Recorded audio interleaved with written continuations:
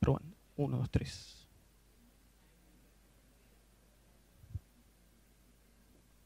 Sí.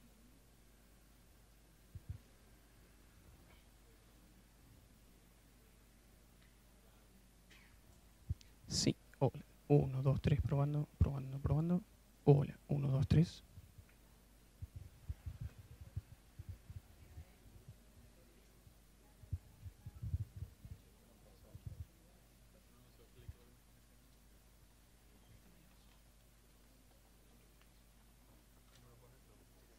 Sí, me quedo allá. Mejor. Perdón, chicos. un segundo. Ah.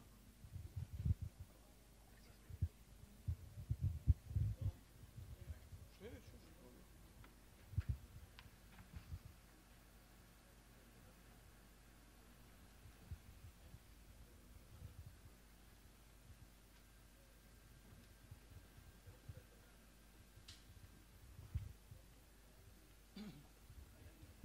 Hola, sí, hola.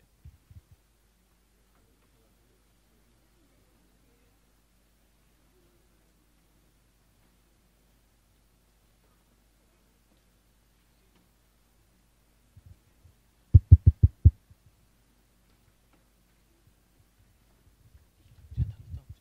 Listo. Gracias.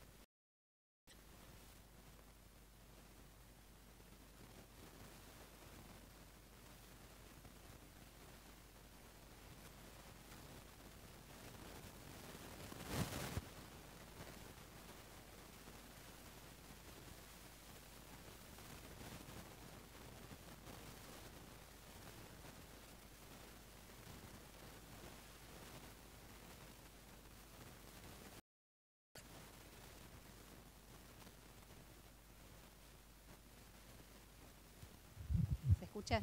Sí, bueno. Eh, bienvenidos a este nuevo evento que hacemos en la comunidad de usuarios de tecnologías de información de la DITELA, la TIDT, como, como ven en el logo. Eh, para los que no nos conocen, eh, digo simplemente que la comunidad la hemos fundado en el 2008 con el objetivo de promover el, el aprovechamiento de las tecnologías de información en todos los ámbitos en los que eh, se mueve nuestra comunidad de graduados de DITELA, pero también es abierta al público, con lo cual dejo, dejo abierta la invitación para todos los que quieran participar, que se acerquen encantados. La comunidad está inserta en la Universidad de Itela dentro del Departamento de Relaciones eh, con Graduados y Desarrollo Profesional. En el día de hoy hemos organizado este evento en forma conjunta con eh, Eventios y con el Instituto Latinoamericano de Comercio Electrónico, con lo cual agradezco a Nicolás, a Marcos, y bueno, y los dejo eh, con Nicolás que, que presente les conduzca el, el, evento y desde ya desearles que lo disfruten y, lo aprovechen. Muchas gracias Susana. ¿Me escuchan todos perfecto? Genial. Bueno, me presento, soy Nicolás Sotelo Bionet, soy Marketing Manager de Eventios, una compañía de Eventbrite en Buenos Aires. Como sabrán, bueno, Eventios es mendocina, pero bueno, ahora tiene algún embajador en Buenos Aires, con lo cual gustoso estar presente acá. Les agradezco desde ya a todos los que están acá presentes, sentados en, escuchando este prometedor evento y también a los que están atrás de la pantalla. Les quiero comentar que gracias a Instituto, al Instituto Latinoamericano de Comercio Electrónico, este evento se está viendo en Argentina, Latam y el mundo. Hay gente ahora atrás de cámara, solamente de Estados Unidos, de Eventbrite, mirando el evento y queriendo bueno, conocer un poquito más del mercado eh, e-commerce que, bueno, que está acaparando todos los diarios y revistas. ¿no? Eh, agradecerle desde ya a la universidad eh, por, esta oportunidad, agradecerle a Marcos y a Gustavo, oradores y bueno, reconocidos profesionales en el ámbito. y bueno, desde Ventios la verdad que esta, esta nueva solución que encontramos y punto de encuentro que es Tendencias nació un poquito justamente porque, como comentábamos en la nota que salió en apertura ayer a la tarde, no veíamos un, lugar o un, punto de encuentro para unir a la tecnología con los negocios, ¿no? si se ponen a pensar, no hay tantos eventos donde se puedan compartir, hacer networking y generar nuevos, nuevas expectativas en, el mundo y en la TAM, ¿no? Entonces dijimos, bueno, ¿qué podemos hacer? Y dijimos, ¿por qué no armar y, justamente convocar a, gente del palo nuestro, por así decirlo, porque Eventbrite, ustedes sabrán que hasta hace muy poco era parecido, eh, era más bien parecido a Eventios, y hoy por hoy ya somos un marketplace de eventos, somos como un lugar donde puedes encontrar todos los eventos sabidos y por haber. Entonces dijimos, bueno, ¿por qué no empezar con el e-commerce? ¿no? Que es algo que, a lo cual estamos apuntando nosotros y de paso nos capacitamos, nos formamos y conocemos un poco más el mercado. Bueno, y ahí apareció, que, que, la verdad que están siempre súper disponibles, Marcos y Erika del Instituto eh, Latinoamericano de Comercio Electrónico, a los cuales nuevamente les agradezco. Y bueno, y surgió esta posibilidad de poder interactuar con el mercado, en este caso del e-commerce. Así que bueno, agradecerles a los que están acá, atrás de cámara, eh, espero que disfruten mucho. Eh, antes de poder, antes de presentar o que vengan los oradores acá y empiecen a, comentarlo sobre las tendencias y nuevas tecnologías, eh, te quiero también agradecerle a, la Cámara Argentina de Comercio Electrónico, a Instituto, Apertura, Infotechnology y Pulso Social por acompañar al evento, y desde ya la ditela, ¿no? y voy a presentar a los dos oradores. Em, perfecto, bueno, genial, genial. Bueno, bueno, hagamos una cosa, vamos a, hacerlo, vamos a jugar, ya que los oradores están acá presentes, eh, cada uno se va a presentar y les va a contar un poquito qué es lo que hacen y, dónde están hoy incursionando. Eh, así que les recibimos con un fuerte aplauso primero a Marcos, eh, por favor. Gracias, Marcos. Susana, disculpanos que rompamos el esquema que tengo acá. Yo estoy seguí acá en la hoja de ruta, del timing, todo lo que estamos haciendo. Lo vamos a romper un poco para hacerlo un poco más, más dinámico. Vení, Gustavo, que Básicamente siempre decimos nosotros que, la diferencia de los que están acá frente en el nuestro, viéndonos por cualquier tipo de pantalla y, nosotros, generalmente es ese kilometraje recorrido. O sea, cuántos años tenemos de comer, vivir y respirar haciendo que este canal, que es este, este, esta nueva forma de hacer comercio, que es el comercio electrónico, eh, nos permita pagar los sueldos a fin de mes y las empresas sean eh, tengan rentabilidad y, podamos seguir invirtiendo en hacer crecer más nuestros negocios. Voy a empezar de mi lado, yo, como todos saben ya soy Marcos Puerrón, yo soy vicepresidente para América Latina de Vitex, que nosotros lo que hacemos como empresa es eh, los picos y las palas, las picotas y las palas, por si hay alguien de Chile, para eh, que las empresas que quieren vender por internet puedan vender. Motorizamos sus tiendas online. Y soy presidente del Instituto Latinoamericano de Comercio, que es Comercio Electrónico, que es una organización sin fin de lucro, una red de cámaras y organizaciones que promueven en 19 países el comercio electrónico y nuestro capítulo local en Argentina es la Cámara Argentina de Comercio Electrónico. Y bueno, Gustavo, te toca a vos. ¿Cuándo empezaste? Yo empecé en el 98 con mi startup, vos estás ahí. en el comercio electrónico, bueno, eh, tengo acá el corbatero. Yo empecé en el 2000 con Agrupate Primera Vuelta, agrupate.com, donde, eh, bueno, con, el primer boom de las .com, después volví este, un, tiempo al mundo físico. Mi primer trabajo post-agrupate, este, lo primero que fui, es, dije, ¿dónde, están, ¿dónde está el físico? Fui, justo era Temaiken, el parque, el parque temático, así cuando vi que había material, construcción, animales, cosas físicas y tangibles, este, entré, pero siempre me quedé con, con, las ganas de seguir construyendo en el e-commerce.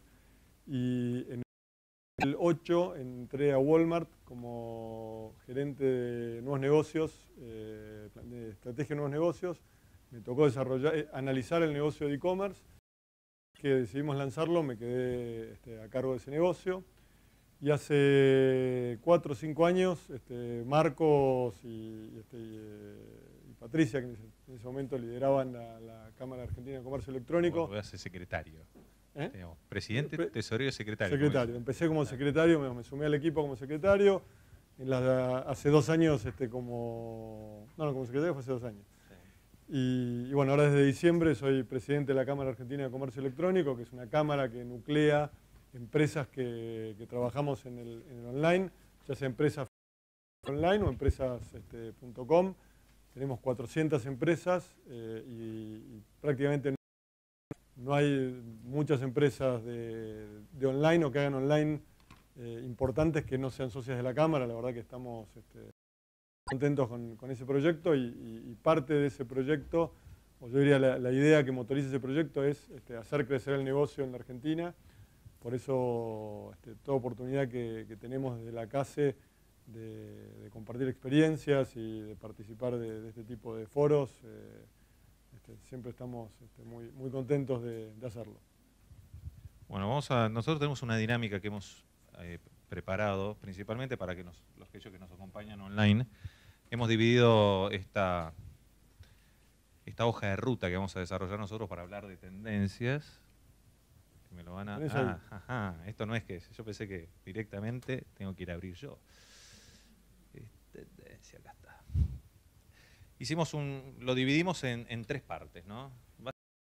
Con un objetivo que lo vamos a compartir ahora con ustedes están las fotitos nuestras, los LinkedIn, van a estar las presentaciones, ya comentaste eso, Nicolás, de las presentaciones online, van a, estar las presentaciones online. Y vamos a empezar a hablar de tasa de conversión. ¿no? ¿Cuál es la tasa de conversión? Ustedes responden la encuesta, nosotros les mandamos las presentaciones y el video. ¿Está bueno? Entonces, ¿cuántos tenemos? Si son 100 los que están eh, inscritos presencialmente y 1500, Francisco, tenemos online. Todos los que están online van a recibir eh, una encuesta para ver lo bien o no lo tan bien que hicimos este, esta experiencia. Ustedes le responden y nosotros les mandamos los materiales. Eh, básicamente lo que vamos a desarrollar eh, está en, esta hoja de ruta.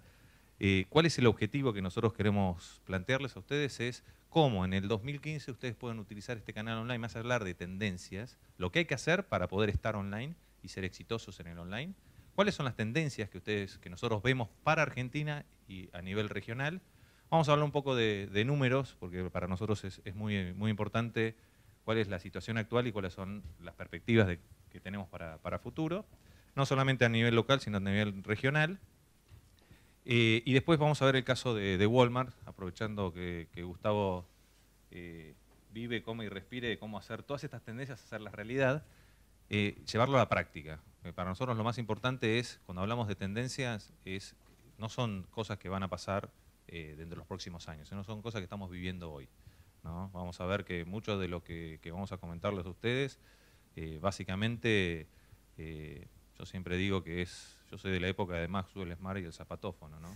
Algunos que me miran acá lo vieron en algún canal de YouTube o retro, pero se ha hecho realidad. y lo que vamos a compartir con ustedes no es eh, futurología, sino es algo que está sucediendo y tenemos que ser parte de lo que está sucediendo.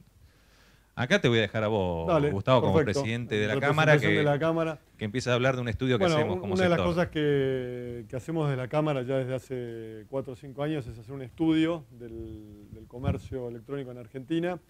Eh, este año, este estudio lo publicamos el 24 de febrero, así que es muy reciente.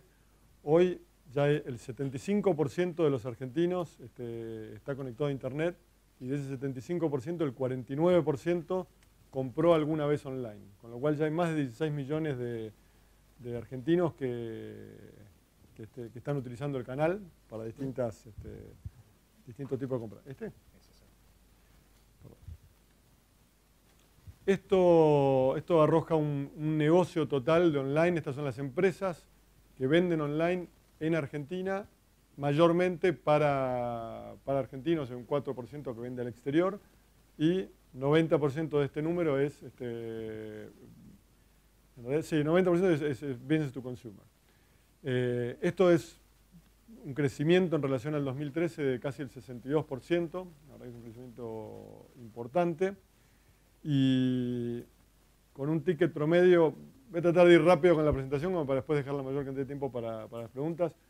El, el, medio de estos 16 millones de personas este, es casi 3 mil pesos y, representa un, incremento del 43%, lo cual quiere decir que hay más personas, hay, personas que, están, que compraron online en el 2014 que no habían comprado en el, 2013.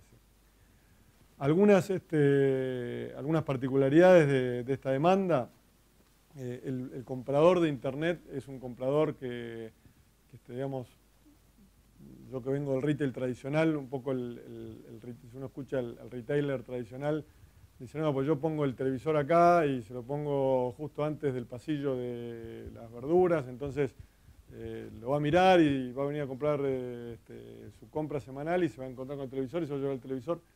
Eso en Internet se puede de alguna manera ayudar, pero en realidad el, dueño de ese proceso de compra, el que tiene el poder, es el consumidor. De hecho, Internet hace que el consumidor llegue al momento de decisión de compra con más información que en muchos casos el mismo vendedor. Y eso rompe un paradigma. Y, la otra cosa es la sociabilización de ese proceso de compra. Eh, hoy el, proceso de compra, de, por ahí no de productos este, básicos, pero sí de, que, involucre cierto grado de inversión, este, ¿Hay algún tipo de, eh, o un review que, uno mira, este, o, un amigo que le comenta, familiares? De hecho, la fuente más confiable que los consumidores reconocen no es, la propia, no es ni el fabricante ni el retailer, es su entorno. Eh, esto es, llevado a números, 9 de cada 10 compradores online busca, compara, mira precios, mira lugares antes de realizar la compra y acá, como para introducir un tema que vamos a profundizar este, hacia el final de, la charla, es 4 de cada 10 personas que compraron online utilizaron el, teléfono, el, mobile, el smartphone, en algún momento del proceso de compra o para chequear características del producto o para chequear si hay un descuento donde, donde están comprando o para ver si ese mismo producto está más barato en algún otro retailer. ¿Cuáles son los motivos de, la compra online? Eh, básicamente comodidad y precio. Yo diría que en, términos de, por ahí compras como alimentos, la comodidad tiene un, peso específico más, más, alto. En precio siempre, siempre juega, pero en, términos de productos por ahí como electro, tecnología, el precio y la disponibilidad de producto, eh, la verdad que el surtido online es infinito, a tal punto que retailers este, físicos, como es el caso de Walmart, en Brasil y en Estados Unidos, ya no solo están vendiendo su propio surtido, sino que actúan como plataforma para vender surtido de terceros, con lo cual el, rol de comprar y vender que, tiene que, tuvo siempre un retailer se transforma en un rol de facilitar este, la venta de un, proveedor eh, que pasa por Walmart únicamente por, eh, una cuestión de, logística, este, de disponibilidad tecnológica y de pago, pero eh, pasa por fuera del proceso de compra y venta. Igual eso lo vamos a entrar en profundidad por el tema marketplace y cómo funcionan los marketplaces, es, realmente lo que permite mayor rentabilidad de negocio.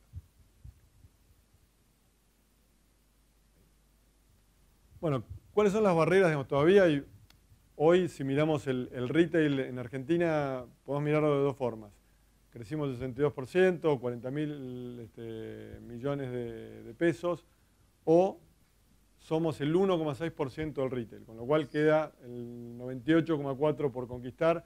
Seguramente no es el 98,4%, pero seguramente un 10, 15, 20%, dependiendo, dependiendo de la categoría, eh, hay para, salir a conquistar. Ahora, entre los que no compran, no compran básicamente, lo que dicen es un tema de confianza en general, confianza en, la propuesta, en el sitio, este, en, que me lo van a entregar, o en no poner los, datos de la tarjeta online, aunque siempre damos el ejemplo que es mucho más peligroso perder de vista la tarjeta en un restaurante, dárselo a un mozo y este, nada contra el gremio gastronómico, ¿no? pero eh, donde uno por un rato pierde toda la información, este, nosotros en online la información se, encripta, se separa en paquetes, este, nunca, nunca nadie la vuelve a ver toda junta como este, la, cargamos nosotros, con lo cual el riesgo es cada vez más acotado y hay cada vez más tecnologías para prevenir fraudes. ¿Cuáles son los impulsores del, desarrollo online? ¿En qué cosas deberíamos trabajar como industria? Estamos trabajando es este, bueno, en, seguir difundiendo el, comercio electrónico a través de los, este, desde la CASE tenemos dos grandes eventos que son el Hot Sale en mayo y el Cyber Monday en, noviembre, que hace que cada vez más gente conozca el canal. ¿Cuántos, ¿Cuántos no conocen qué es Cyber Monday? ¿Cuántos compraron en Cyber Monday? No preguntes cuántos, cuántos recibieron en tiempo y forma, porque Por eso, ahora vamos a ver cuánto- después vamos a hacer después del evento, en otro momento, vamos a, vamos a ver qué, qué tal la experiencia en Hot Sale Bueno, y, este y el, año, ¿no? y el punto ahí también es este, el tema logística, eh, es un tema que si bien eh, ha mejorado y, este, y hay algunos jugadores que, que realmente tomaron, tomaron la posta de este negocio, esto crece tan rápido que, que, este, puntualmente para algunos eventos que generan picos, eh, todavía la logística no, este, no, nos, no nos terminó de acompañar en ese proceso. Y, bueno, medios de pago también, cuando uno mira en el mundo, eh, las facilidades que hay en medios de pago, de subirse un taxi, pagar este, con, el, con el iPhone y el dispositivo, cosas que parecen, un kiosco en Estados Unidos, este, acá todavía estamos un poquito Bueno, pero tenés iniciativas como un monedero que está con cosas Sí, interesantes. este, Mercado Pago, hay, hay- hay- hay cosas este, que, que- que- que van a venir, va a haber una transformación importante en, en ese sentido. Eh, bueno, las barreras son la contracara, digamos, de lo que veníamos hablando. Voy a pasar así, este, somos ágiles y... Bueno, esto es más que todo para tener una visión también de lo que está pasando en el mundo, ¿no? O sea, hoy ya superamos la barrera del 1.5 billones de millones de dólares transaccionados a través de Internet. ¿Alguien sabe cuántos ceros son esos? Son 150 mil millones de millones de dólares, de los cuales el 5% es Latinoamérica. Pero somos uno de los, eh, si queremos, eh, continentes que más crecen junto con Asia en- ese crecimiento del comercio electrónico año tras año. Cuando analizamos también eh, qué, qué va a pasar en el mundo en el crecimiento del comercio electrónico, acá es interesante analizar cuánto es la penetración del comercio electrónico sobre el comercio tradicional. Recién hablábamos de 1.7 de lo que es retail. En países más maduros, eh, más maduros a nivel de penetración, que son Inglaterra y, Alemania, en lo que es retail, de retail e-commerce, estamos hablando del 7%. Entonces, todavía eh, eh, recién estamos surfeando la- esta ola, este gran tsunami, y estamos recién empezando. O sea, lo que, lo que- aquellos que no están tienen mucho camino por recorrer todavía, y, y los que están, lo único que tienen es una experiencia de haber surfeado la ola un poquito antes, pero hay muchas oportunidades. Y el crecimiento, y una de las cosas que siempre decimos, nunca el canal online va a reemplazar al canal offline. Nosotros ya estamos hablando de un concepto que es de digital commerce, no de comercio electrónico y comercio. Es solamente comercio. Detrás de la pantalla de cualquier cosa tenemos un consumidor de carne y hueso y lo que estamos usando son habilitadores de consumo distintos. Entonces, lo importante es entender, como oferta, estamos hablando siempre, que lo más importante en, este proceso es la decisión de compra. Y ahí empezamos a hablar de diferencia de comercio electrónico puro y comercio electrónico amplio. Comercio electrónico puro es cuando todo el proceso del acto comercial se hace a través de medios electrónicos. Y el comercio electrónico amplio, que es lo que nos interesa a nosotros principalmente como empresas, es que la decisión de compra de mi producto o servicio se haga a través de medios electrónicos. Por eso el impacto es mucho mayor. Y este es otro tema interesante. ¿Cómo están creciendo los países emergentes? Vean cómo está Brasil dentro de lo que es eh, eh, eh, América Latina, pero vean lo que es eh, China. Y cuando hablamos, uno siempre piensa que Estados Unidos es el país que más comercio electrónico hace. China ya lo pasó. Cuando hablamos, no sé, ¿cuál es para ustedes el, bu- el buscador más importante del mundo? Google, no, Baidu. ¿Cuál es la empresa de comercio electrónico más importante del mundo? Ahora salió en todos los medios, pero es Alibaba.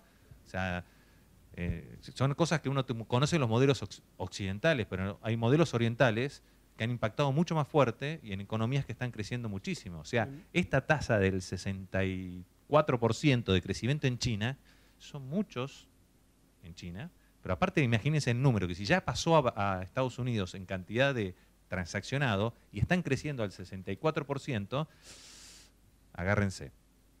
Y acá vemos una matriz que- que- en la cual muestra cómo están los, los mercados más desarrollados, donde tenés eh, a nivel de, de- de consumidores y de, penetración de la oferta, donde está Japón, eh, Corea del Sur, después están los países donde están ya establecido el comercio electrónico. Y lo interesante es que nosotros figuramos en esto. O sea, Argentina está, está Brasil, están varios países de Latinoamérica donde nosotros estamos en, este eh, empezando a eh, montar esa ola, que es ese gran tsunami, que la realidad es cuando uno pues, se pregunta por qué un retail está hablando de comercio electrónico por un tema de supervivencia, no de sobrevivencia. Porque la realidad es que el consumidor está usando el canal. O sea, a mí el problema cuando siempre me preguntaban por qué el comercio electrónico no crece más rápido y por un tema de oferta, no de demanda. La demanda está. Y cada vez vamos a ver con las tendencias hacia dónde va. Y esto es un poco lo que está pasando en... nosotros medimos, ¿cómo medís la, madurez del comercio electrónico? Hay distintos indicadores y, vamos a ver que eso es lo importante en, en este negocio. Y uno de esos indicadores es la tasa de conversión. Entonces, ¿cómo está Argentina con respecto a Latinoamérica?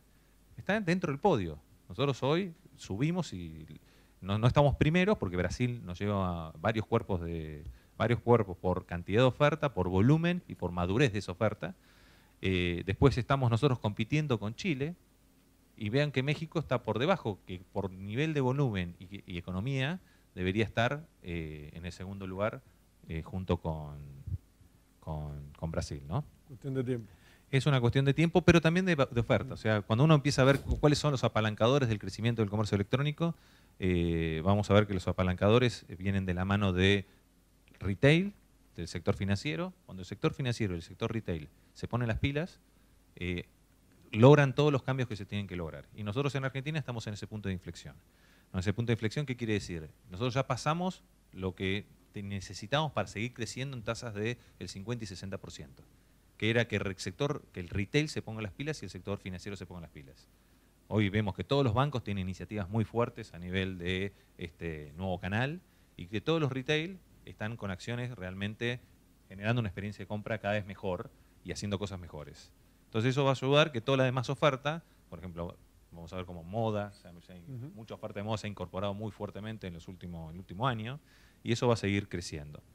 Pero vamos a las tendencias, ¿no? porque nosotros, esto era para preparar el terreno. Teníamos que hablar de tendencias, no de cómo estamos, pero para saber las nosotros es muy importante saber cómo estamos. Y antes, generalmente uno tiene, cuando habla de comercio electrónico, tenés muchas inquietudes y preguntas. Y la realidad es que hacer comercio es difícil, ¿no? Hacer comercio electrónico es igual de difícil que hacer comercio. O sea, vender es difícil. Yo le pregunto, ¿hacer comercio electrónico es más o menos difícil que vender en la tienda física? Hacer comercio rentable es difícil. Entonces, ganar plata y hacerlo por Internet es muy complejo. Y ese es el desafío de Internet. Internet, su gran desafío es resolver lo complejo en forma sencilla. Entonces, siempre van a tener muchas inquietudes. Pero ¿qué hay que hacer? Y esto nosotros lo, que, lo compartimos con una visión.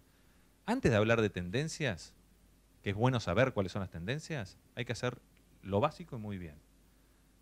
Porque para ser exitoso hay que hacer poco y muy bien. Es mucho. Y acá hablamos KPIs, básicamente los Key Performance Indicators, son los indicadores que mueven el comercio online. Hoy, hoy ya tenemos indicadores, ya tenemos buenas prácticas. Puedes hablar de cuáles son esos indicadores que miden la performance de un canal online, que son tasa de conversión, tasa orgánica de recompra, SLA de entrega, SLA de expedición, ROI, ROI corregido, Ahí, Marcos, permitime, vos recién decías, el, paralelismo entre comercio y comercio electrónico. O sea que yo tengo incontinencia verbal, ¿no? Eh, y, una de las cosas interesantes y de los grandes desafíos, sobre todo para las empresas tradicionales que, entran en el comercio online, es que la experiencia de compra es diferente. los KPIs son totalmente diferentes. Entonces, cuando querés medir el negocio online con los mismos KPIs que medís el negocio offline, ahí te la pegás. Porque este, Pero a mí lo interesante, nosotros en el caso de mi empresa trabajamos mucho con mucho retail. Y cuando entendimos que ¿cómo hacemos para no salir expulsados? Porque vos querés meter el ADN retail e-commerce o el ADN digital en un retail tradicional y salís expulsado. ¿Por qué? Porque no sos el, hasta que no seas el 3% o 5% de la facturación no existís. Tenés que ser por lo menos una tienda. Sí, y, yo creo que digamos, una de las cosas que hoy los retailers están dando cuenta es que no es solo ese porcentaje que se vende online, sino la influencia que tiene el online sobre el proceso total de compra. Eh, hoy, hoy mismo una charla que, tenía interna en Walmart era, eh, bueno, siempre está el cómo hacemos crecer más, más rápido este negocio, que, viene creciendo rápido, pero viene de, de, un dígito. En general, la mayoría de los retailers hoy es de un dígito. Y, yo una de las cosas que decía es, independientemente del 5, 10, 15, 20% que este negocio sea algún día, es un partido que uno no puede decir no juego, porque si no juego, no es que dejo el 20% del negocio sobre la mesa afecta también el otro 80%, porque el cliente no es este, digital o, físico, el cliente es omnicanal. El cliente eh, piensa en comprar un producto, en intervenir con, eh, interactuar con una marca y quiere hacerlo a través de distintos puntos y con una experiencia de compra homogénea. Entonces, para las empresas puramente online, por ahí los desafíos pasan por cómo generar un modelo de negocio, una base de clientes, un poder de compra que tienen los retailers tradicionales. Pero para una empresa tradicional, hacer ese cambio de seteo mental del negocio online y empezar a Primero ese cambio de seteo mental y después empezar a buscar las sinergias entre ambos. ¿Cómo lo haces? O sea, uno, de los grandes desafíos que uno tiene cuando quiere meterle el ADN digital es entender el negocio retail. Cuando vos entendés el negocio retail y entendés lo que quiere escuchar el CEO, el director de la compañía, ese directorio, el directorio quiere hablar de números. Y lo que quiere, como habla de metro cuadrado, habla de SKU, habla de contribución marginal, lo que quiere es, de otra manera, cuando empezás a hablar de tasa de conversión, te mira con una cara, pero ya empieza a entender porque ellos hablan de indicadores. Entonces, entienden que es otro tipo de indicador. Empezás a hablar de números. Lo importante es el PNL. Ingresos, egresos, evita que yo tengo de la operación. Cuando vos ya le empezás a hablar de ingresos, egresos y le, mostrás que queda rojo o azul abajo, ya te empiezan, vos decías, ah, ¿cómo haces para hacer un e-commerce rentable? Volumen lamentablemente. O sea, hasta que no tenés volumen, no, no, es más difícil conseguir un e-commerce rentable. Sí, pero también parte de esos KPIs es entender ese, ese análisis en qué tiempo, ¿no? Digamos, este, cuando uno en, retail físico abre una sucursal nueva, dice, bueno, el primer año voy a perder plata, el segundo gano tanto. En, Pregunto, ¿en cuánto tiempo tenés que pensar un roadmap para empezar a, ver que ese número de rojo pase a Yo creo no menos de tres años. Yo te diría 24 meses mínimo. O sea, vos tenés que pensar en un roadmap de acá a 24 meses. Generalmente, en nuestro sector, hablar más de 24 meses es medio osado. Porque decís, ¿dónde vamos a estar parados acá? Es más, meses? Eh, los, más puros de, online eh, lo que dicen es, si estás buscando rentabilidad antes de los 2, 3 años, estás dejando crecimiento sobre la mesa. Porque por, buscar la última línea, este, no fuiste suficientemente agresivo como para ganar más clientes en, la primera línea, en, la, venta. Y, complementando la visión que te está dando Gustavo, entiendan que con el Pure Player, o sea, un Linio, un Dafiti, un Nechus, habla de ROI corregido. Yo creo que hoy vas a una empresa tradicional, le hablas de ROI corregido y te salís expulsado por la ventana. ¿Saben lo que es ROI corregido? ROI corregido básicamente, ¿saben lo que es ROI, no? O sea, yo mido el ROI mío según la venta que voy a tener en el lifetime value del cliente, en el tiempo que me va a comprar ese cliente. Yo activo ese cliente y ese cliente me va a recomprar cinco veces en el año. o cinco. Y yo lo que hago es mido la campaña que estoy haciendo, mido el ROI de esa campaña, de esa acción, por todo lo que me va a comprar en el tiempo. Entonces, obviamente, cuando pago un CPA, compito de una manera totalmente distinta, después de si está bien o mal, pero porque hay, que entender el por qué lo hacen así, porque miden al, cliente como un activo, lo eh, transforman lo que es CAPEX en OPEX, o OPEX en CAPEX. Es una inversión, marketing es una inversión, no es OPEX. Entonces, cuando vos tenés esa, visión, ¿qué es KPIs? Que son indicadores. ¿no? Creo que te cambia. Es más, entendés cómo competir contra ellos también, o no, porque no vas a poder competir, pero vas a entender qué están haciendo. Y por qué el CPA está subiendo y por qué yo tengo que mejorar mi tasa de, conversión. CPA es el costo que tengo de adquisición del cliente. Algunas caras de espantos que vi recién. ¿No? sin corregir es, vos medís la campaña solamente, no medís cuánto te va a comprar ese cliente que, adquiriste en esa campaña en el tiempo. Entonces, son dos números distintos. a, un plazo, no sé si es largo plazo, tenés que medir el plazo del ROI corregido, lo medís a, 12 meses, a 24 meses, a un tiempo. ¿Pero por qué? Porque generalmente el, el, el Pure Player lo que hace es activar el cliente. Está, eh, eh, para ellos el, cliente es un activo. No está mal, conceptualmente, pero es como decir de repente los fans. Hoy hay activos digitales que son fans. El fans se puede medir en plata. Y, cuando uno analiza los valores de venta, vieron cómo se evalúa una empresa del mundo online, hay siete, ocho modelos distintos de evaluación de empresas del mundo online. Y cuando hablas de, ¿cómo es? Tasa del año cero, evaluación tradicional. ¿Ah? no tiene el van, el van tradicional al, valor actual neto. Lo, medís con los otros modelos y vos tenés siete valores distintos. ¿ah? Y hay gente que paga, porque el, el, que compra termina pagando con ese modelo de evaluación. ¿tá? Para ir cerrando con esta diapositiva tenemos eh, lo que nosotros llamamos operación y logística. Básicamente es, y, y creo que tengo una diapositiva después, pero lo, a ver si tengo una diapositiva acá después de Amazon. Lo voy a explicar después, déjeme un minuto que llegue a la próxima diapositiva, pero son los activos del e-commerce. Un activo del e-commerce lo demostró Amazon en el ya 2004 casi, y por qué despegó con respecto al resto.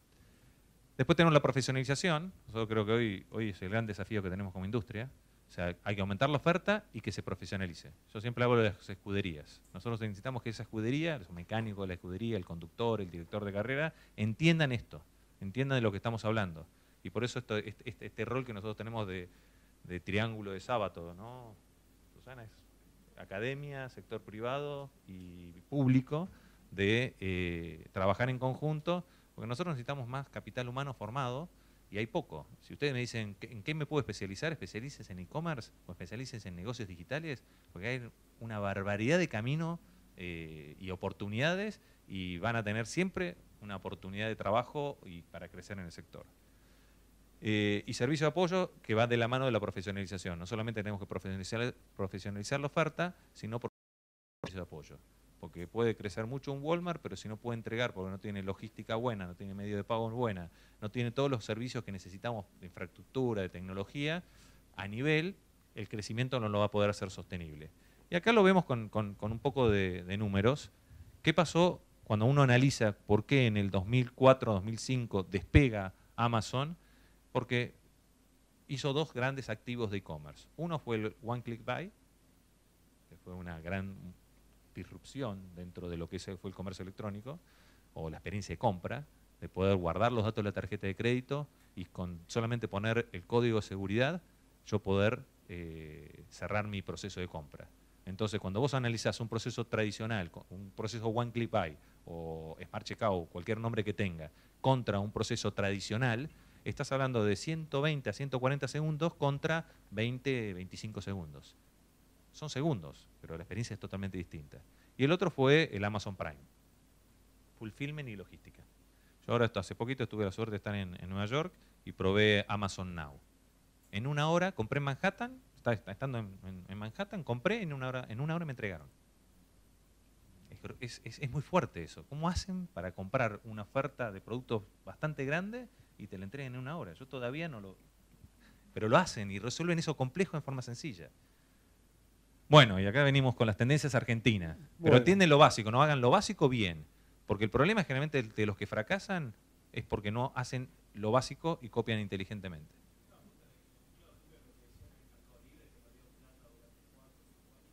Amazon. Sí. Amazon du- durante mucho tiempo números rojos. Y es más, si te descuidas sigue teniendo números rojos. ¿Tá? No sé, yo no sé cómo son Sí, el último sí. balance de Amazon, Sí. pero De hecho, otra de las cosas que, que- que fue en otros de los caminos que fue contando Amazon, hoy Amazon es un, eh, un facilitador de tecnología. Digamos, hoy, este, en cierto modo, por el, el modelo que tiene Mercado Libre en Latinoamérica, con, este, con- en un principio con, con los vendedores, primero eh, C2C, digamos, consumer to consumer, después como small, small B2C, y hoy con las tiendas oficiales, este, Mercado Libre está siendo un facilitador de empresas medianas y grandes. Una empresa como Walmart tiene una tienda oficial en Mercado Libre, como un canal adicional. Y, este, creo que, algo interesante de este, este negocio es que, va mutando y por ahí si le preguntabas a, este, a la gente de Mercado Libre si se imaginaban que esto iba a terminar siendo su negocio, no lo sé. Yo creo que fue más una adaptación a, a las oportunidades y, Sí, es, una evolución, mismo, ¿no? sí, es una evolución y a su vez eh, van respondiendo a las necesidades que van planteando los ofertas. O sea, todos, todos quieren darte esos, esos músculos, prestarte esos músculos y cobrarte algo por esos músculos.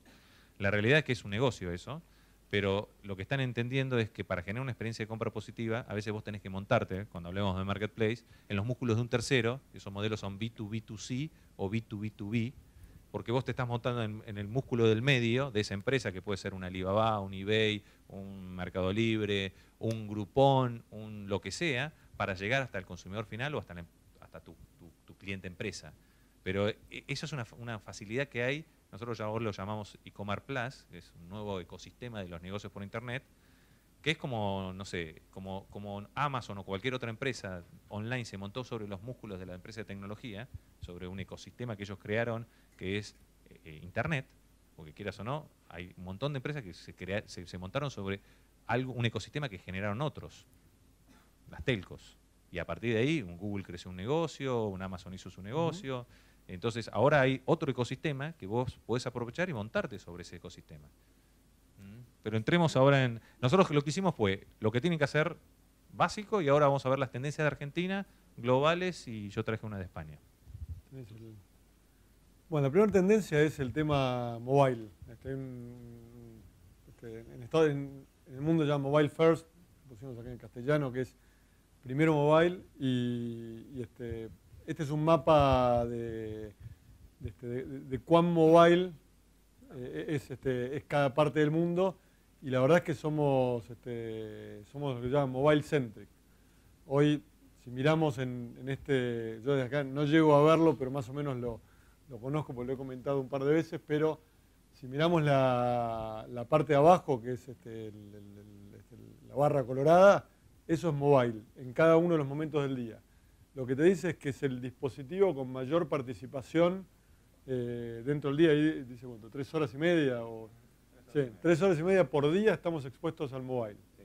Considerando ahí hay tablet, ¿no? O sea, tenés Sí, sí, mobile, tablet, o sea, mobile y tablet. Para nosotros ya, ya es el, el mobile es estable también incluido, ¿no? O sea, son dispositivos, después vamos a hablar de ubicuidad, ¿no? Sí, salvo en, en algún momento por ahí en las comidas, que el televisor le compite un poco, pero eh, aún así todos sabemos que no son excluyentes. Uno está viendo televisión y, y está de alguna manera con, con la pantalla, de, con una segunda pantalla. Esto es cómo interviene el mobile en, este, digamos, qué dispositivos utiliza para hacer sus compras en Internet. Y si bien todavía la, computadora de escritorio sigue siendo la, la más importante, eh, vemos cómo el mobile este, empieza a tomar un rol trascendental. Y esto es desde el lado de las empresas. Cuando en el estudio salimos a preguntar a 73 empresas que hacen e-commerce, eh, quienes tenían alguna solución mobile, ya sea con, una aplicación o con un sitio móvil, que tenga carrito y, este, una de cada tres empresas tiene, tiene una solución móvil, de, esas, este, de ese 30%, el 90% tiene carrito y en esas empresas el 11% de las ventas viene por mobile. Este número es realmente importante y sobre todo si miramos la tendencia, hace uno o dos años decíamos que el- ni siquiera el 11% del tráfico venía por mobile. Hoy el, el, este, entre el 25 y el 30% del tráfico de cualquier sitio, tengas o no este, carrito de compra, viene por mobile. Con lo Y- cual, Y si pensás a fin de año, yo creo que va a llegar más del 40-50%. de hecho, el- la yo, yo formo parte de un, de un foro de de e-commerce de, estamos en distintos países del mundo, digamos, dentro de Walmart, que los países que trabajamos venta de alimentos. Y la semana pasada en una conferencia, eh, mi par de China, por ejemplo, comentaba que están desarrollando una un, un negocio nuevo que directamente no va a tener su versión escritorio, va a ser únicamente mobile. Entonces cuando uno escucha eso dice, este, wow, ¿no? Y, y después hay una frase que, que vos lo dijiste de alguna manera y es, eh, el mobile es una revolución y nosotros, nosotros decimos que el mobile es al e-commerce lo que alguna vez el e-commerce fue a las tiendas físicas. Hay como una reinvención y un nuevo, este, que no es un reemplazo, creo que es un nuevo jugador dentro de esta este, multiplicidad de dispositivos. Y de- de Ahí yo de- quería meter un, un- Para mí, vos considerás que es, es mobile. Nosotros le, le ponemos la palabra mobile, pero creo que nosotros tenemos que hablar, ya vieron cuando hablamos de digital commerce, esa ubicuidad. El comercio, el comercio electrónico ubicuo, comercio ubicuo. Porque en el fondo hoy hablamos de mobile porque se Sí, le puso un nombre, de ¿no? hecho es mobile y no es smartphone porque el mobile puede ser tablet, puede ser, eh, no sé, el reloj ese que tenés ahí también. es cualquier cosa mobile. puede ser mobile, pero en el fondo es darle la- más poder al, al que ya tiene por internet, que se les que lo tomó el consumidor, va a tener mucho más poder porque empieza la personalización, empieza un montón de cosas que yo puedo a través de Big Data, a través de Business Intelligence, cosas que antes eran más difíciles de hacer, yo las puedo hacer porque tengo ese- esa ubicuidad y lo tengo conectado. Entonces, cuando mezclas todo eso, es la revolución que se viene. De hecho, creo que ya lo vimos o no. A ver estaba- Bueno, pero eh, esto de que 4 de cada 10 personas usan el celular en el proceso de compra. Eso es. O sea, responsive, como decíamos nosotros, hoy, antes mobile era un- una opción, hoy es obligatorio. Y cuando hablamos de responsive, saben que está optimizado, responsive y adaptive. O sea, ¿qué es responsive? Responsive es que se adapte la navegación a la pantalla porque es distinta, la usabilidad es distinta. Hay cinco pantallas que yo tengo. Cuando uno hace un, un sitio responsive, tiene que pensar en cinco tipos de pantallas distintas. Si querés ser demasiado de- detallista, en siete pantallas distintas. Yo no me acuerdo nunca la cantidad de píxeles, que 1024 es una, pero la verdad es que son todos números distintos. Pero, la re- pero básicamente es el tipo de pantalla que vamos utilizando. Y Adaptive es que directamente, no solamente yo lo que hago es eh, muestro cosas distintas según el, dispositivo que estoy Es una especie de responsive, pero con, eh, aparte, contenidos distintos que voy a mostrar a, a- a medida que voy optimizando, si queremos, esa- ese dispositivo. Bueno, esa es una de las, las tendencias. La otra es la. sí.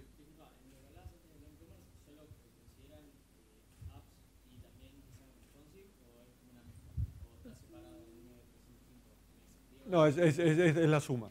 La, suma de apps o sitios Pero móviles. puede ser Totem tranquilamente. Cuando hablamos nosotros, puede ser, eh, entra mucho con el concepto de omnicanalidad, pero en el fondo son, vos tenés puntos de contacto y canales de contacto, si querés, device o pantallas con las cuales el cliente se relaciona con nosotros. Esas pantallas pueden ser un Smart TV, tranquilamente, y cada vez el Smart TV va tomando una- un uso el usuario que no- hasta nosotros mismos no sabemos qué miércoles va a pasar con el Smart TV, porque la verdad es que cada vez la experiencia va siendo distinta. Entonces los multidispositivos son los que nosotros vamos, este mismo, el reloj mismo, vos decís, ¿en qué va a terminar esto? No sabemos, nadie sabe. Sí, hay otro tema relacionado con el multidispositivo, es multidispositivo, pero monousuario, digamos. Vos este, no importa por qué dispositivo accedas, una vez que te identificás, este, sos el mismo que accedió desde tu casa, en, este, en un teléfono, en una tablet o en un kiosco este, virtual de una tienda física. ¿no? Creo que es un, tema interesante y me da pie al, al tema omnicanalidad. El- primer punto de, el concepto de omnicanalidad es, este, yo lo- lo mencionaba recién, es el cliente es omnicanal, con lo cual la discusión de on-off es un tema de las empresas, puertas adentro, de un tema de centro de costos, de a quién va, de a quién va la venta, quién tiene poder sobre, sobre ese negocio, pero al cliente le importa poco, el cliente quiere comprar este, un determinado producto de una marca o quiere ir a tener una, una experiencia con, con determinado canal y quiere que sea lo más, este, lo más parecida posible y que el, cliente, que la empresa esté pensando en, en- en él o ella como centro, no en, este, en el formato como, como centro. Igual te digo que el tiempo se pasó volando, ¿no? no, no- no- no- y vamos Ya- por la mitad, ¿no? ya me apuro. No, no, Eh, yo te digo porque tengo que... Bueno, digamos, la e- cantidad de estos diapositivas, datos, estamos por ejemplo, es este, datos que se le, le preguntamos qué logística utiliza para la entrega y te dicen ya el 51, digamos, esto es respuesta múltiple, pero el 59% de la gente en alguna compra retiró por una sucursal. Con lo cual esto, esto es omnicanalidad. digamos. Gente que compró online y retiró por una sucursal eh, es omnicanalidad al punto que eh, Amazon está planteándose este, abrir este, locales físicos o cómo, cómo materializa su, su oferta, su propuesta. Esto es un caso puntual de Walmart que son bastante chicos, pero lo, lo interesante acá es, vos entras al, ¿Hay un puntero? ¿Este es puntero o no? Ok. Una vez que entraste con tu usuario, te identifica una tienda y para un determinado, yo acá puse repuestos de autos, no me acuerdo de qué era, y eh, te dice 15.985 resultados. Primer gran tema es 15.000. No hay ninguna tienda física que pueda tener 15.900 este, repuestos de autos junto con comida, con televisores, con, con lo cual acá te está hablando de una oferta prácticamente ilimitada. Ahora te dice, bueno, fíjate cuál es la, lo puedes eh, ordenar por Store eh, Availability. Acá me reconoce cuál es la tienda que yo tengo asociada y me lo da como opción. Y si no, te dice show online, eh, only online. Entonces ya hay un surtido que es de una marca, pero que vos podés elegir si lo querés comprar online, si lo querés comprar en, este, querés saber si la tienda más cercana lo tiene, y después incluso si lo compras online, podés eh, elegir que te lo lleven a tu casa, retirarlo en la tienda.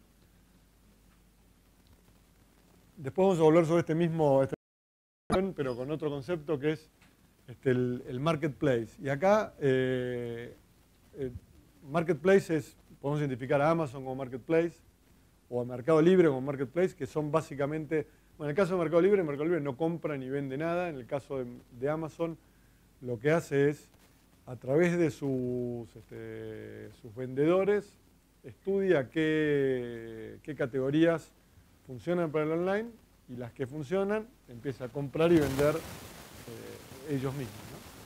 O el poder que tienen, digamos, entre que les proporcionan la tecnología, tienen toda la información eh, y, realmente tanto Amazon como Amazon en los libros este, lo mismo que hizo Netflix en las películas o este, Apple en, la música. Y, y ahí hay una pelea entre el retail tradicional y los nuevos jugadores y, los fabricantes y los nuevos y, el retail que es product centric, customer centric, ¿no? O sea, todos los product centric quieren ser customer centric y los customer centric quieren ser product centric.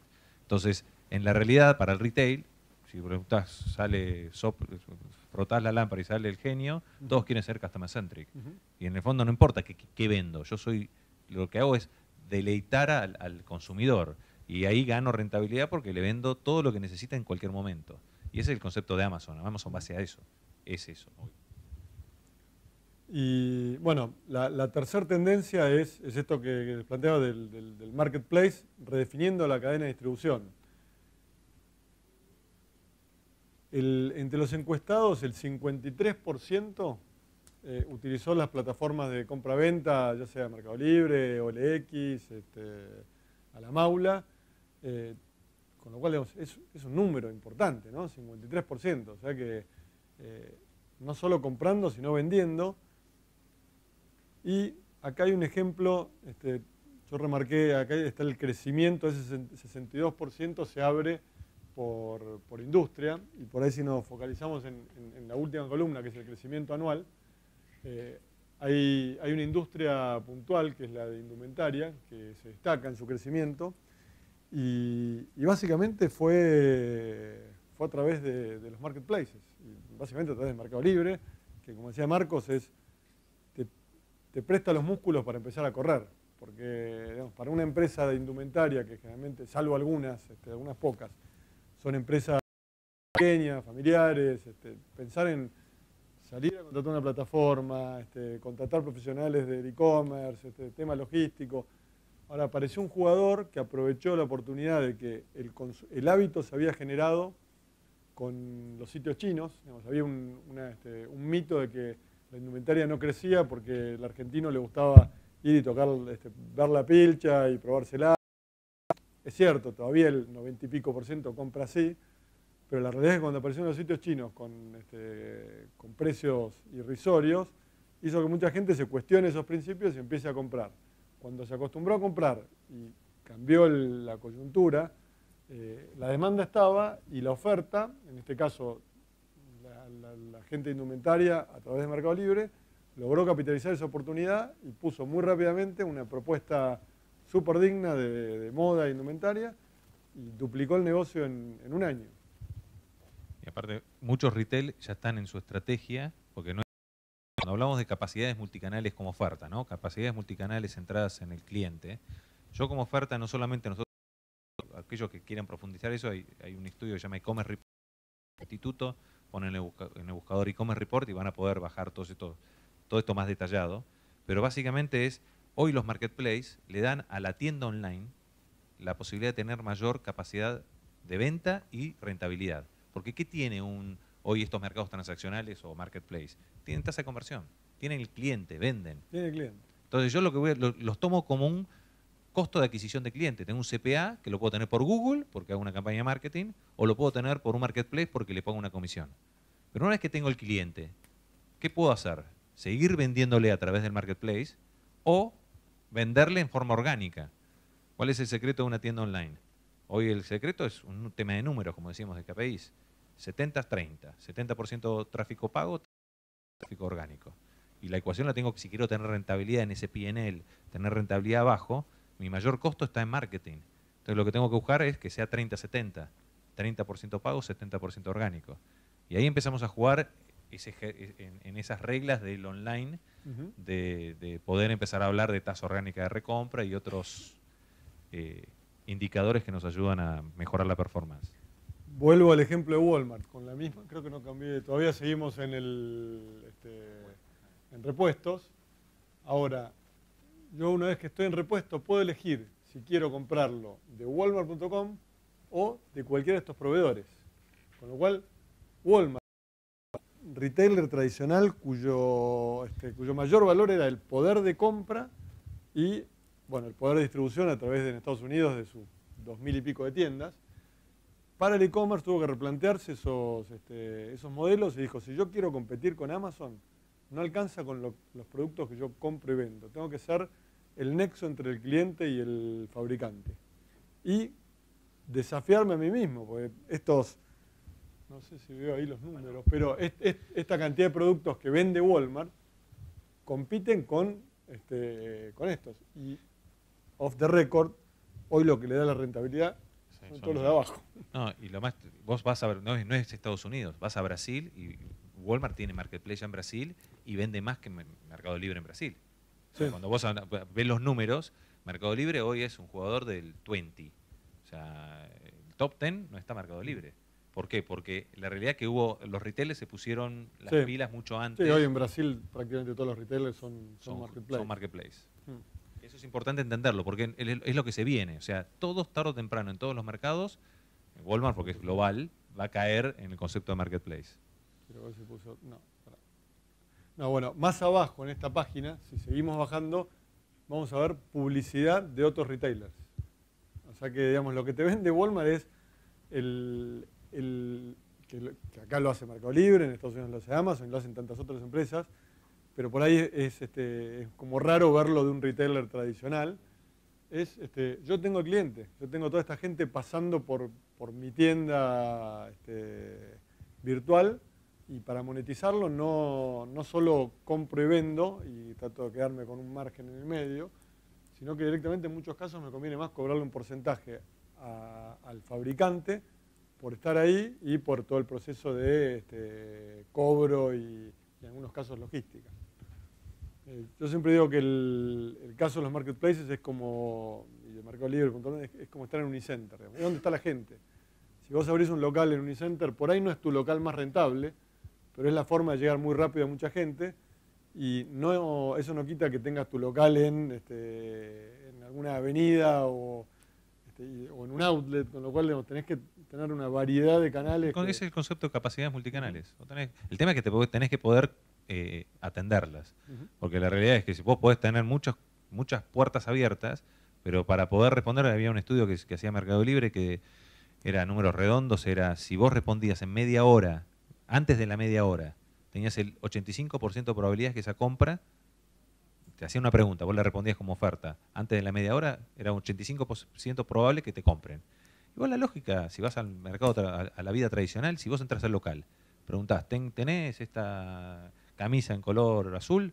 Y te dicen que sí, y vos querés comprarla en color azul, lo más probable es que la compres. Entonces, tiene una lógica trasladada del tradicional al online. Entonces hay que atenderlo, por eso la, experiencia de compra y atender el canal es tan importante. Después hay algo que, no, vos sabés mucho más que yo, que es este, toda la inteligencia que hay en, la usabilidad, digamos, las cosas que te aparecen casualmente cuando vos buscaste un, estás buscando por hacer un viaje y buscas en algún destino y de repente estás haciendo cualquier cosa y te aparecen cosas de ese destino, hoteles, vuelos, autos. Eh, eh retargeting, tenés un montón de cosas que, no es casualidad. Hay una inteligencia detrás, porque vos tenés la personalización, ¿vieron cuando hablamos de personalización? Yo puedo, si, sé que vos estabas navegando una categoría, como, hizo Gustavo ahora, y no compraste, yo ya te tengo identificado, te puedo mandar un, un, trigger, te puedo mandar una acción, que puede ser un SMS, que puede ser un email, que puede ser una llamada telefónica, porque si vos sos premium, y yo sé que comprás, estabas, compraste un home theater y estás navegando la categoría de LCD 80 pulgadas, probablemente quieras comprar uno y te, te hago llamar por teléfono, que vales la pena. Ujú. Tal cual. Bueno, acá es- esto es un poco, este es un estudio que lo pueden bajar de, de- de ese link que tienen ahí abajo, que lo que hizo el IAB, creo que fue, el IAB o la Asociación eh, Española de, Economía Digital, uno de los dos, hizo un estudio sobre 60, que está bueno el estudio, por ahí vamos a hacerlo acá también. Le, le preguntó a 60 expertos de e-commerce, 60 directores de e-commerce de 60 empresas, cuáles eran las tendencias para el 2015. Y este fue el podio que ellos pusieron. Si entran en este enlace, van a poder ver la explicación de por qué justifican que este es el podio de las tendencias para el Sí. 2015 en Lo el interesante es que armamos las presentaciones por separado y de, y de las Sí. tendencias este, llegamos a bastante... Eh, cuando uno lo analiza, o sea, después vamos a ver tendencias de un estudio de eMarketer, que, que, que con Gustavo decíamos, bueno, estamos muy fuera de la realidad en lo que es Argentina, por eso nosotros armamos Argentina, España, para que tengan distintos escenarios de tendencias. ¿Por qué? ¿Por qué es importante esto? Porque hay que tropi- tropicalizar. Yo siempre digo, es copycat, eh, internet, pero tropicalizando y agregando valor. ¿Es lo mismo hacer e-commerce en Brasil que en Argentina? No. Pero el 80-20 se da.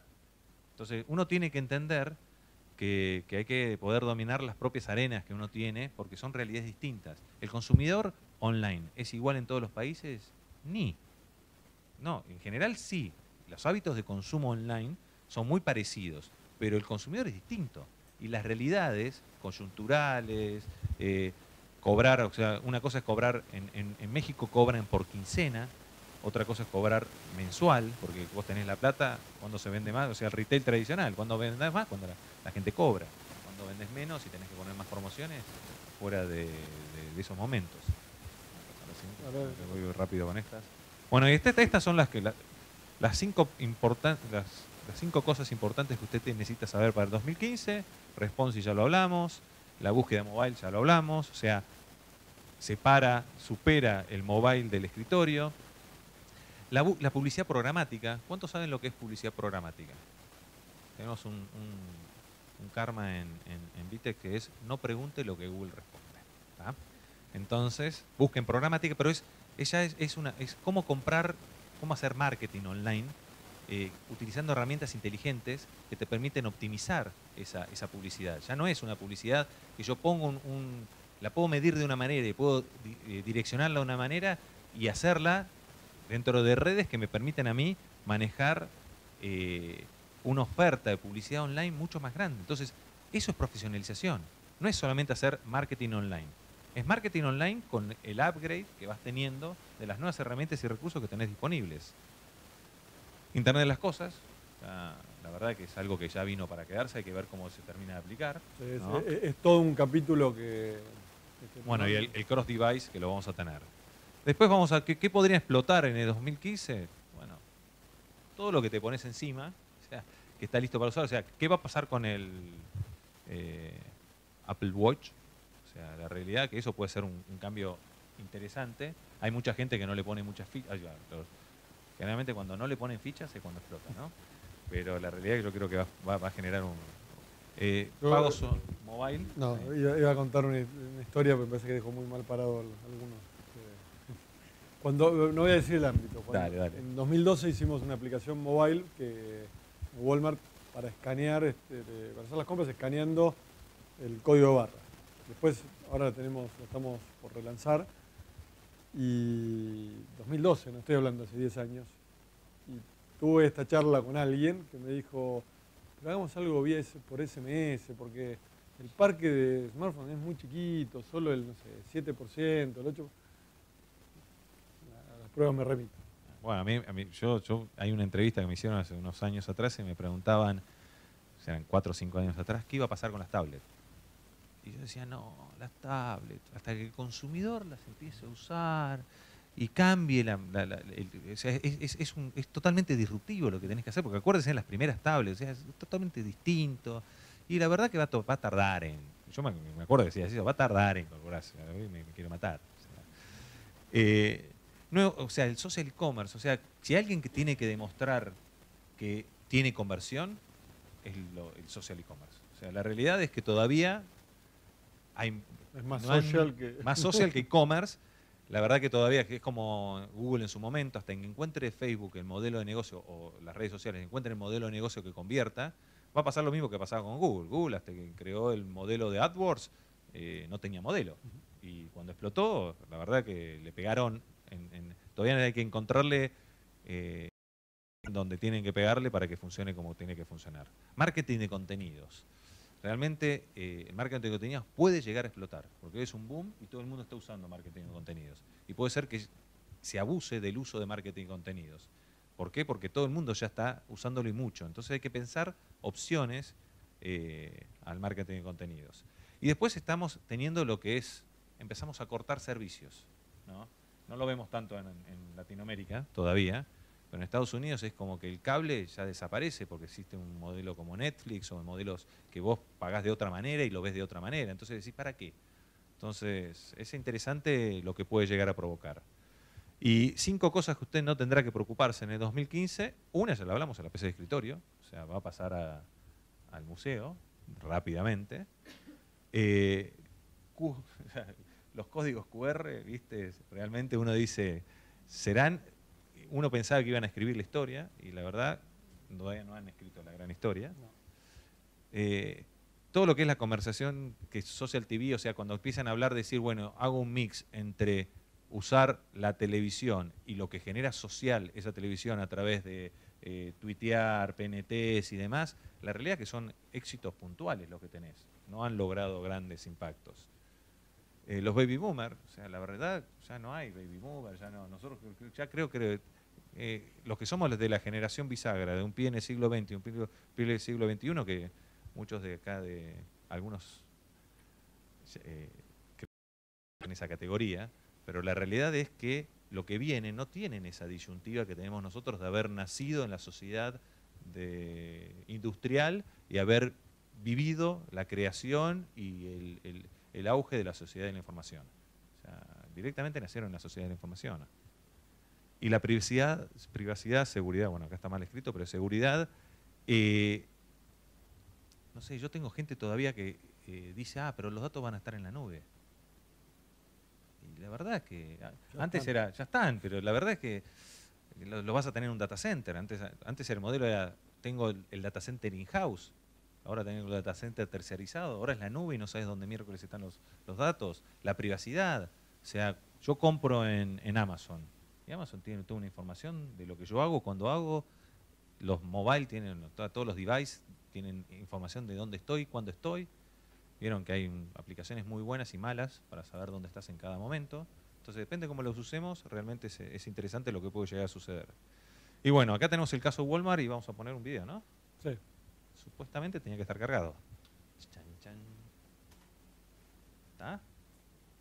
Sí, acá está. Este todo preparado. El video es este, digamos, un video que se hizo. No digas cuándo se hizo, eso es parte de la, del juego. Bueno, ¿eh? mírenlo. Mírenlo, sí, no sé si tenemos audio, pero vamos a. Tenemos audio, tenemos todo. Y tienen traducción abajo, chiquitita, pero tienen. My daughter's Sweet 16 is just a few days away, and I really want to make it special. But as you can see, I've kind of got my hands full. And while Ellie's been plotting her big day since her last birthday, I haven't had as much time to plan. That's why I'm so glad I have Walmart to help.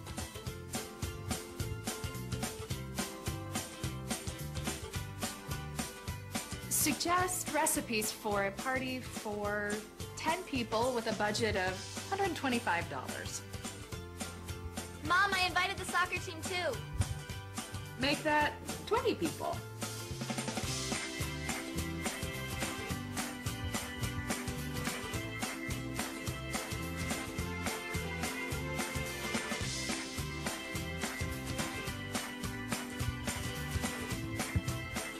Happy Sweet 16, Ellie.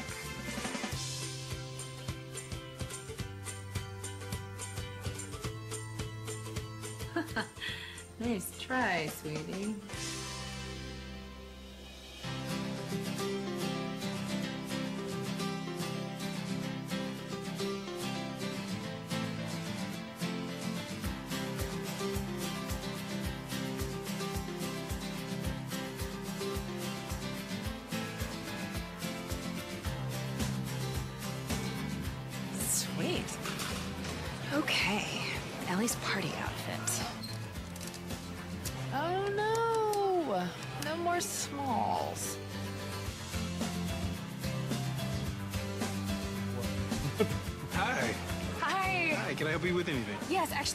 Interested in this computer. Okay. Oh, that's great. Um, you know what though? My phone shows that it's $25 cheaper. I'll tell you what. Watch this. Beautiful. Thank you. She is gonna love it.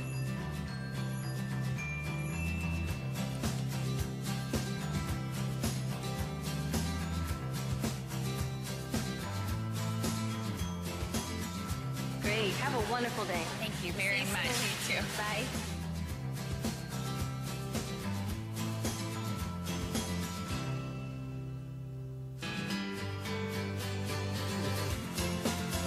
Hi.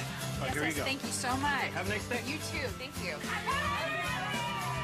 From the big days to the everyday, I just want to do the best I can for my family, and I'm able to.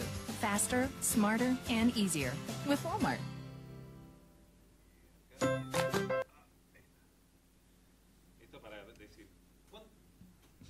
¿Qué fecha piensa que desde el video este? No, no, no, no, acá. No, esto, no, esto, Estaba, esto para estaba- hacer trampa. estaba al ¿eh? principio, ¿no? Está al, está al final, está al final por. Está al principio y al final, creo. ¿Cuándo piensan? A ver.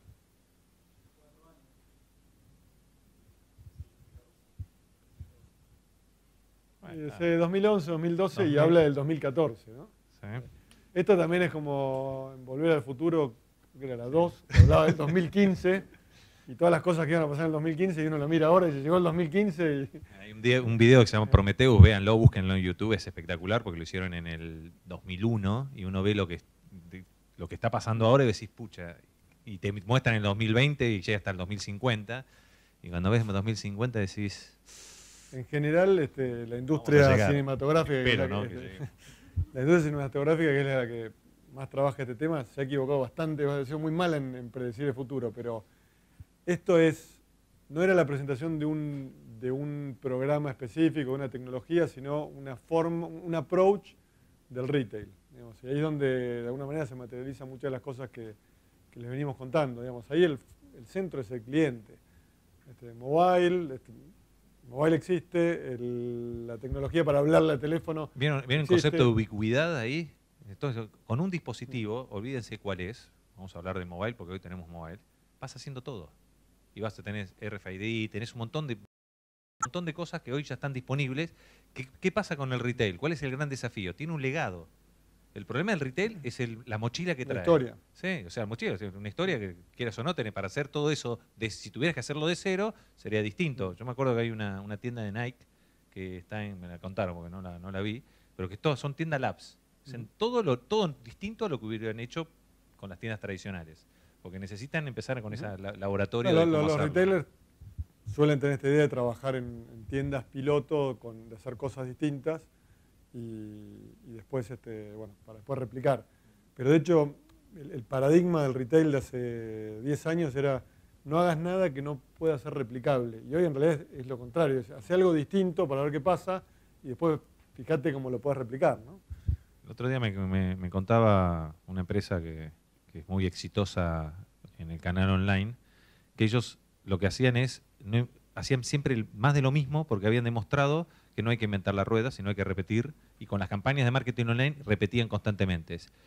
Y hacían prueba B y seguían haciendo prueba viendo, iban profundizando, iban haciendo un arte de todo eso. Y después se dieron cuenta que se metían en un ciclo vicioso propio porque tenían que hacer algo distinto. Más allá de que convierta, porque si convierte, pero puede haber algo distinto que convierta más. Entonces empezaron a hacer 80-20. 80 siempre lo mismo, es aburrido, me dicen, pero convierte. Y el otro 20% a hacer algo distinto, a ver si convierte más a lo aburrido. ¿eh? Pero en, en- en- en el online es muy simple. O sea, cuando una campaña funciona, sigan haciéndola. De hecho, si uno piensa en, en empresas como Google, eh, Google tiene un modelo exitoso con los buscadores, pero si uno mira qué, dónde está invirtiendo, está invirtiendo en, un montón de compañías que no tienen nada que ver con el buscador, sino con todo el tema de Internet of Things, con, este, sobre todo aplicado a, ciencia, medicina.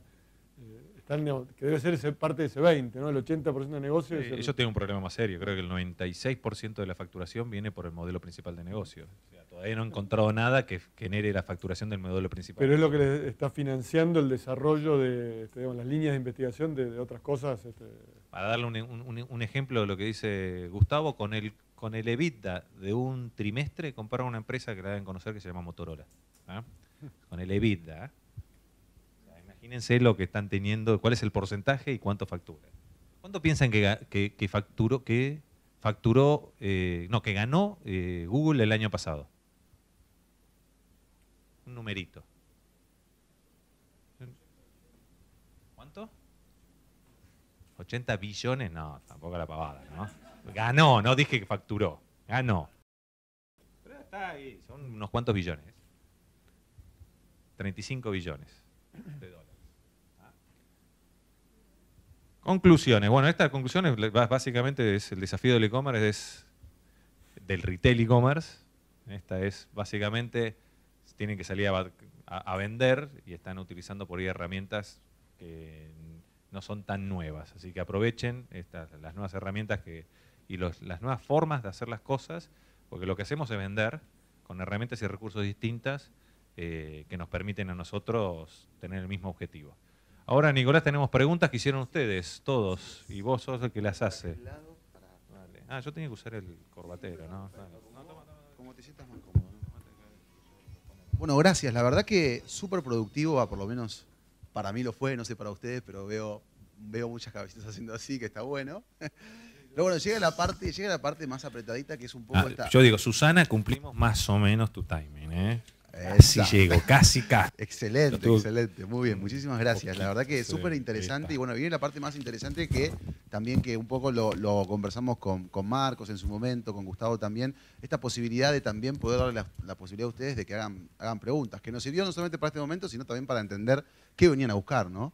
Si una cosa está buena en los eventos es hacer participante, ¿no? Justamente creo que tiene que ver con la, la nueva onda 3.0 de que ustedes ya no, no vienen a escuchar, sino que quieren aprender y quieren conocer y capacitarse y especializarse. Entonces, en la encuesta habrán visto que, que fue además un éxito, muchas respuestas. Tuvimos que hacer un filtro, así que vamos, no se pongan mal si no están sus preguntas. Pero en todo caso, si a alguno le surgió alguna pregunta ahora, me pueden pedir una vez que terminemos de, con, cada uno de los tópicos que vamos a tocar y les acerco el micrófono y hacen la pregunta. ¿Bien?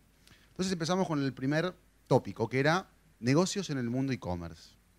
Tenemos acá unas, dos, tres preguntas para compartir. Una, un, un asistente pregunta... Tenemos muchas preguntas para compartir. Nosotros seleccionamos algunas preguntas, así que el que hizo preguntas, si no las seleccionamos es porque hay muchas. Exactamente, muy buena aclaración. Así que, eh, bueno, la primera pregunta es, ¿cuáles son los atributos que valora el usuario en la oferta y que optimizan la conversión a venta? ¿Empiezo yo?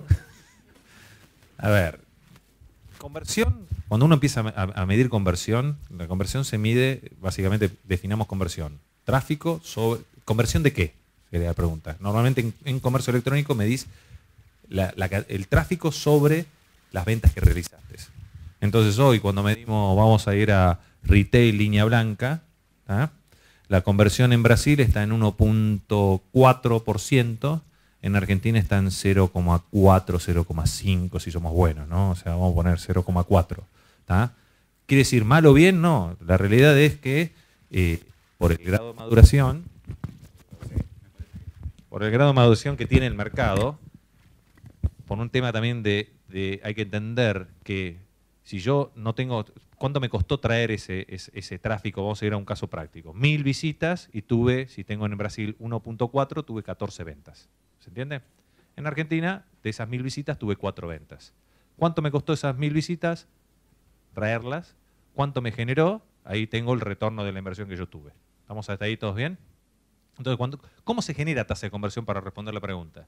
La tasa de conversión se genera por un múltiple factor. Uno tiene que ir a lo clásico, que es el catálogo, la oferta. Cuanto mayor cantidad de SKUs tenés en, en la oferta, mayor posibilidad de convertir tenés. Si yo tengo tres productos, no es lo mismo que tener 1500 productos en mi catálogo. Si tengo precio, una vez que tengo la oferta que está buscando ese consumidor, a su vez tengo precio, tengo información, genera tasa de conversión. Pero en general vamos a dejar de lado lo que son las variables, si queremos, más duras y vamos a las que maneja lo que es la conversión pura. O sea, la conversión de una tienda online. Porque una tienda online, cuando hablamos tecnológicamente, convierte más. un tema es usabilidad y velocidad. ¿Cuánto tiempo yo tardo en encontrar las cosas? ¿Cuánto tiempo yo tardo en salir de la tienda? Con, cumpliendo lo que quise ir a hacer, que es comprar. Entonces, antes hablábamos de tres pasos, ahora hablamos de un paso. Registración, una registración que demora, hay estudios de 120, 130 segundos, a que demore a un proceso de compra de checkout completo, a que demore 30, 20, 30 segundos. La velocidad del sitio. Por un sitio que tarde en cargar más de 4 segundos, por cada segundo que tarda, pierdo 12% de conversión. La pregunta me dirían, ¿por qué perdés 12%? Por múltiples factores, porque la búsqueda es lenta, porque si, si, si carga lento el sitio, yo, generalmente si, si, un sitio tarda más de 10 segundos, el, el, el, usuario se perdió, ese cliente se perdió directamente. ¿Por qué? Porque es mucho más histérico el consumidor. Entonces, para responder a la pregunta es un múltiple factor. Mucho relacionado con lo que es UX, que es User Experience. Yo, y otra cosa que, que es, este, digamos, puedes tener la mejor plataforma, con la mejor usabilidad, si tu propuesta no es buena en términos de surtido y de precio, no, y, y, también qué tipo de tráfico estás trayendo, ¿no? Porque eh, cuando uno, cuando uno hace experiencias... Cuando hablamos de esa 1000 contra 1.4 es tráfico relevante. Si yo traigo basura voy a tener resultado cero. Este, por ejemplo, en el, la tasa de conversión en, alimentos es de dos dígitos en general en los mercados maduros, porque en general el tráfico es más orgánico. Es este, clientes que, Recompra. Claro, clientes que ingresan a, tu página a comprar alimentos y no buscan en, el buscador este, mayonesa. Entonces la tasa de conversión tiene que ver con todo el trabajo que vas haciendo en el desarrollo de ese cliente, en la experiencia de usuario, pero también en los, los servicios que, los servicios que le das este, o el nivel de servicio que le das cuando en la entrega y los productos, en, cuanto a los productos que le prometiste le terminas entregando y demás.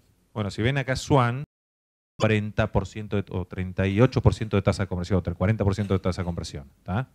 Y vende alimentos, o sea, por eso tiene esa tasa de conversión. O sea, cada, cada, cada 100 que entran, 40 compran, o cada 1400. Eh, un poco en el fondo lo que quiero decir eh, también de esto es si no tenés un modelo de negocio real y sustentable detrás, vas a invertir un montón de plata en llevar tráfico que entra por un lado, sale por el otro, lo puedes optimizar, pero si tu propuesta eh, es un facilitador, pero para hacer negocios tenés que tener una propuesta atractiva y tiene que haber un negocio sustentable, rentable, lo podrás esperar tres años, cinco años, este, podrás hacer cosas por internet que no haces por, este, por canal físico, pero al final del día tiene que haber un valor este, por el cual el cliente esté dispuesto a pagar algo más de lo que te cuesta a vos y dejarte cierta rentabilidad. Y, es muy importante esto, por eso de catálogo, porque si no, esa tasa de conversión va a ser mucho menor. O, no o, directamente va a ser... Gracias. ¿eh? Y hacemos dos en una acá. Eh, una pregunta es, ¿cuáles son los tres factores fundamentales a tener en cuenta en el lanzamiento de un negocio de e-commerce? Y por otro lado, ¿cuáles son las industrias más rentables para realizar e-commerce y cómo empiezo a atraer compradores? Qué pregunta, ¿eh? Wow un manual de... A un podio. Entonces tenés que decir cuáles son los tres más importantes a la hora, cuáles tu, los pilares tuyos o cuáles son lo, que tenés que poner más foco. yo arranco, yo arranco con, lo primero, con, lo que terminé en la frase anterior. Tiene que haber un modelo de negocio y un valor para el cliente. Si no, este, si no nos remitimos a la primera ola de e-commerce donde eh, la verdad que uno se entusiasmaba, pero yo me acuerdo cuando estaba en, ese momento cuando me fui a trabajar a Grupate, que trabajaba en una consultora y jefe, que era el socio de la consultora, dijo, me la pintó como negra, dice, no, pero fíjate, este, este, tipo no entiende nada, es de otra generación. A los ocho o nueve meses estaba cerrando la compañía y este, lo fui a ver de nuevo. y la realidad es que, bueno, este, muchos de esos negocios no, no, eran sustentables para ese momento, con lo cual, para mí, la primera es que tiene que haber un negocio detrás. Segunda. Segunda, no, yo iría a la experiencia de compra, pero vamos a ir dejando de lado la experiencia de compra. Eh, es muy importante esos pilares que hablábamos, la base. La base es la tecnología, la plataforma, la logística, la operación, el marketing. Y después todo eso transforma en experiencia de compra. Para mí esa base es la que hace que todo lo que yo haga de propuesta de valor lo pueda sustentar. Porque puedo tener una propuesta de valor muy, muy grande, pero si el sitio siempre está caído, no sirve.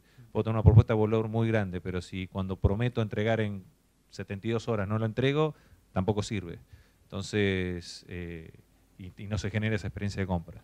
Y por ahí un tercer punto, eh, creo que hay que entender el, el- el modelo de negocio, el cash flow. Si esta pregunta por ahí es este, más de un enfoque emprendedor, hay que saber si, digamos, cuál es la, la tasa de, el burn rate o la tasa de, quemar dinero y si puedo hacerlo o no. Hay, hay cosas que pueden ser negocio para Google, o puede ser negocio para Walmart, o puede ser negocio para una gran empresa, pero un emprendedor tiene que saber que va a necesitar inyección de capital en, en de- determinado momento porque si no, no va a poder hacerlo. Justamente por esto que hablábamos, que, que los KPIs son, este, son distintos y son de, de apostar a, a la venta y no a la rentabilidad en el corto plazo. Sectores ahora. Si a mí me preguntas a mí dónde hay nichos en Argentina, dónde hay lugar en los nichos. O sea, a nivel, o sea pet, bebés, Ujú. eh, todo lo que sean, si queremos, segmentos verticales. ¿no? O sea, Sí. pensé, hay muchos que no, todavía no están ocupados. ¿Qué Y- otro dirías yo, y vos? yo diría que, eh, sumando a eso, si no, lo que yo aconsejo a, a cualquiera que, que alguna empresa que tiene algún comercio físico, te no, quiero montar online, es empezar con algún marketplace, tercerizalo, este, comete el, Ah, el, bueno, el- los el 10, modelos full e-commerce. O sea, Mm. hay muchos modelos full e-commerce hoy que te, lo que te dicen es, dame todo y lo hago yo. Claro, Y te, te manejo el canal. Dame tu marca, te manejo el canal. Eso funciona muy bien, es una forma de montarte los músculos Sí. de otro. Y después internalizas. Cuando analizas el caso de Walmart, nosotros lo conocemos muy bien en Brasil, porque son clientes nuestros, eh, ellos tercerizaron, en el 2006 no vendían online. 2007 empezaron a vender, hoy más del 12% de la facturación de Walmart Brasil, son más de mil millones de dólares, es el canal online. Y empezaron tercerizando un montón de cosas, es más, armaron un spin-off como una empresa separada, eh, y hoy es un dolor de cabeza hacer un spin-off, pero tiene las cosas buenas y malas, eh, porque son dos quits distintos. Entonces, cuando querés ser omnichannel, cuando son dos quits distintos, tenés que facturar en el punto de venta y ¿qué haces? ¿No? Sí, pero son, son esas cosas que, Pro y digamos, contra, ¿no? Eh, por ejemplo, en, en Brasil y Estados Unidos crecieron como empresas aparte, les permitió crecer Velocidad, mucho sí. más rápido. Eh, ahora ellos están viendo cómo hicimos los que crecimos eh, integrados al negocio para volver a integrar el... La realidad es que, que en nuestra tasa de crecimiento, los que crecimos dentro del negocio, nos encontramos con todos esos inconvenientes de, de- de cambiar el, el seteo mental, de la cultura, de los KPIs. Eh, son distintos, distintos formatos. Pero en el fondo es, se puede tercerizar y después incorporar. Cuando tenés volumen vas incorporando. Tercerizás el centro de distribución, lo incorporás cuando tenés volumen, no haces la inversión para tener tu propio centro de distribución. Y así con todo lo demás. Con lo cual yo diría que a no ser que eh, el negocio de quien hizo la pregunta sea la tecnología en sí, yo diría utilicen la tecnología de alguien que ya la tiene desarrollada y aprendan y este, les aseguro que, que ese porcentaje de costo que les cobre un, un este, un full e-commerce o, este, o un, marketplace va a ser mucho menor que el costo de aprendizaje, digamos que, eh, o la pérdida operativa durante el periodo de aprendizaje. Bueno, muchas gracias. Pasamos al, siguiente grupo de, de preguntas, ¿no? que eh, titulamos Tendencias en el mercado de e-commerce. Hacemos dos en una de nuevo. ¿Cómo se prevé la penetración del e-commerce online sobre el retail total en Argentina? ¿Cuáles son los principales desafíos? Y por otro lado, ¿están viendo algún cambio importante en la conducta de compra de los consumidores en el corto y mediano plazo? Bueno, ya nombraste. ¿no? Sí, yo creo, yo creo que las cubrimos un poco con, con lo que charlamos. pues, eh, hoy el retail, el online es el 1,6% del retail. En euros, eh, en realidad esto eh, es el total. Si analizamos segmento por segmento, digamos, en, Hay categorías que tienen más penetración. en, en todo lo que es servicios, la migración al online va a ser completa. digamos, este, cuando- mientras no haya que hacer un- una transferencia física de un bien, en lo que es turismo, en lo que es tickets este, de espectáculos, hoy ya la vemos en Argentina que Vas a un, a un LAN y ya más del 40% de la facturación es online. Y de, ello, de hecho, ellos están viendo cómo pasan online un montón de procesos que no son de venta, pero del check-in, este, pues son mucho más eficientes. Ahora, te vas al otro extremo, que por ahí es, este, no sé, los alimentos, y en alimentos, en Inglaterra, que es este, uno de los mercados más desarrollados en, en términos de retail de alimentos, sigue siendo un dígito la participación de online. Porque hay un, este, digamos, un proceso que, que probablemente este, nunca sea el 100, algún, será el 25. No, y vamos a un retail. integrado- El retail, el retail línea blanca en Argentina, un retail de primera línea, en los próximos 3, 4 años tiene que estar superando el 15-20%. Ujú. ¿Tá? Ya es la principal tienda y, y va a ser el principal canal. ¿tá? O sea, como canal, ¿no? O Sí, sea, y de Tengamos en nuevo, cuenta que ahí entra también call center, o sea, contact o sea, realmente se mete en la misma bolsa todo, todos los canales no y presenciales. de nuevo me parece que no solo hay que mirarlo sobre lo que se vende online, sino en lo que impacta en, este, en la venta total. Nosotros teníamos en el estudio que era una, por cada una, cada venta online tenías 10, los que tenían procesos multicanales tenían 10 ventas offline. Sí, es, es muy difícil de medir. Hay, hay algunas compañías que, que lo están haciendo con Google, pero este, y- y- eh, sí, digamos, de cuánto la inversión online repercute sobre las ventas offline. La verdad es que hay que hacer una- un estudio durante un tiempo bastante prolongado y con una inversión interesante, aislar productos que no estés publicando en otro medio, eh, con lo cual hay algunas experiencias, pero no hay números todavía de la industria como para compartir pero sin lugar a duda digamos, la- el hábito de consumo multicanal está y, y, este, y eso se traduce a, a las ventas influenciadas por Internet. Bueno, vamos, a- vamos al último grupo de preguntas que era sobre justamente el ambiente emprendedor, que un poco también respondieron recién a esa pregunta, pero bueno, eh, y si alguien más quiere hacer alguna pregunta, la podemos sumar a esta, que es, ¿qué consejos me darían para expandir mi producto en el canal online? Bueno, lo, lo dijo Gustavo, es capacidades multicanales centradas en el cliente, que puedan atender. O sea, están desde los mercados transaccionales, Mercado Libre, Alibaba, eBay, Alamaula, OLX, todos los, las- las- los que son compras colectivas para mí, todos los clubes de compra y, cuponeras que tuvieron un boom, pero que siguen todavía, hoy siempre nosotros decimos, cualquier modelo de negocios tiene que contemplarlo, después hay que ver si el producto o servicio eh, el modelo tan agresivo, tan fuerte que es el de compras colectivas, el modelo de negocios, eh, pero montense en los mús- músculos de terceros. Y a partir de ahí eso les va a permitir hacer su propio ejercicio y crecer rápidamente. No, básicamente coincido. Les comento igual antes de las preguntas, hay un espacio también afuera, media horita más, para compartir con un after event que invitamos a los organizadores, pero bueno, simplemente eso va a dar un espacio para que también puedan interactuar con Gustavo y con Marcos. Eh, pero bueno, a ver, era simplemente eso, ahora sí pasamos a las preguntas. Hola, ¿qué tal? Eh, ¿qué, qué medios de pagos podrían ser hoy recomendables más allá de Mer- Mercado Pago y en su momento decidir dinero mail? Dale vos. A ver, un- algo que aumenta mucho la tasa de conversión es tener todos los medios online, híbridos y offline que puedas.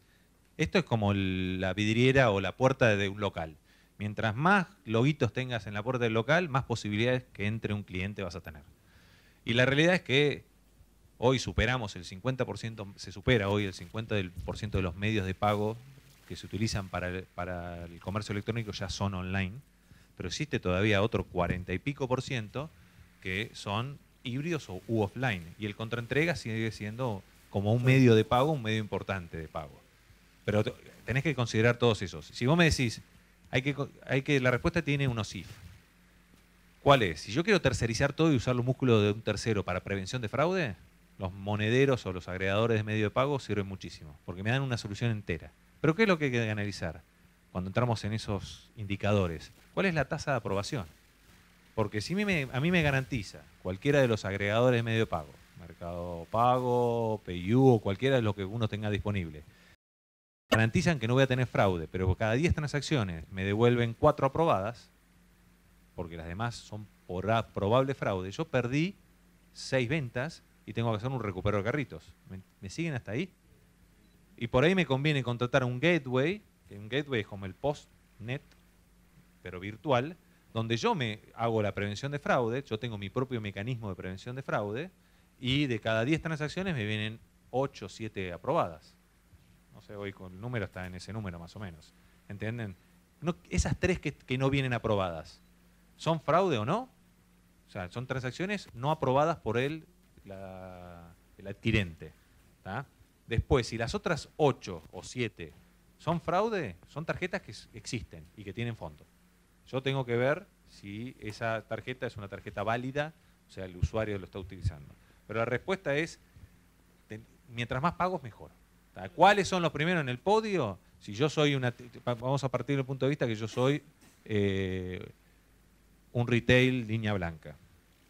Tendría más de un gateway ¿tá? y vería cuál me... Más de un gateway es más un NPS, más de un decidir, o sea, NPS o decidir, y vería, jugaría con ellos eh, para ver cuál me está teniendo mejor tasa de aprobación.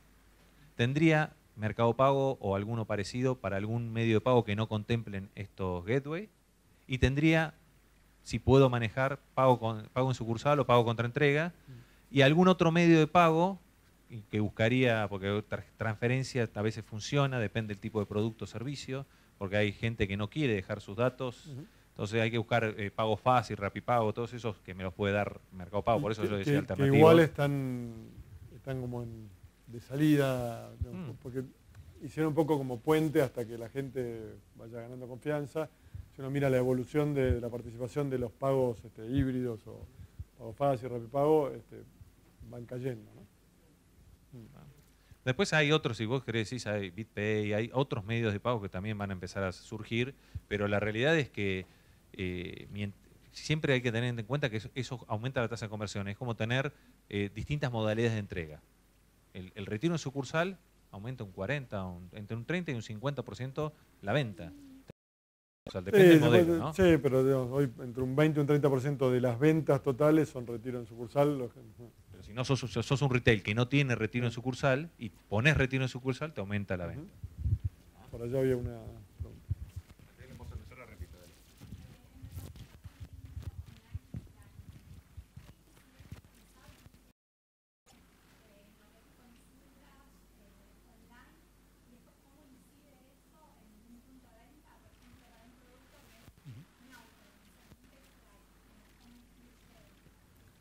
Sí, ahí en el, en el caso de... que lo repito, para los que están online.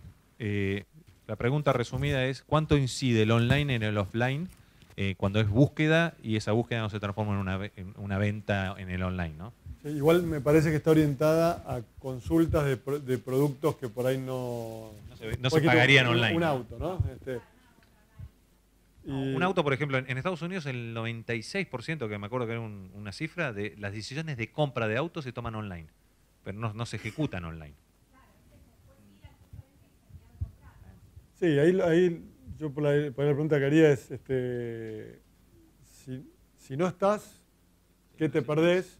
Y si estás mucho mejor, ¿cuánto ganás? ¿no? Digamos, no estar, estar y estar excediendo este, por ahí el, promedio del mercado. Eh, yo creo que en, en- en categorías de productos donde hay cierto riesgo involucrado o valor involucrado, hoy la consulta online y el lugar para buscar esta información es online.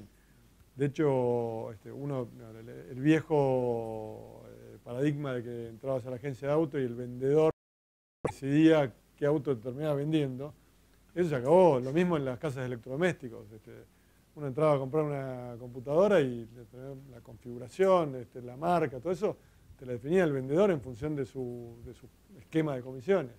Hoy uno va informado y te pueden llegar a este, influenciar, pero la realidad es que cuanto, en muchos casos el comprador sabe más que el vendedor del producto.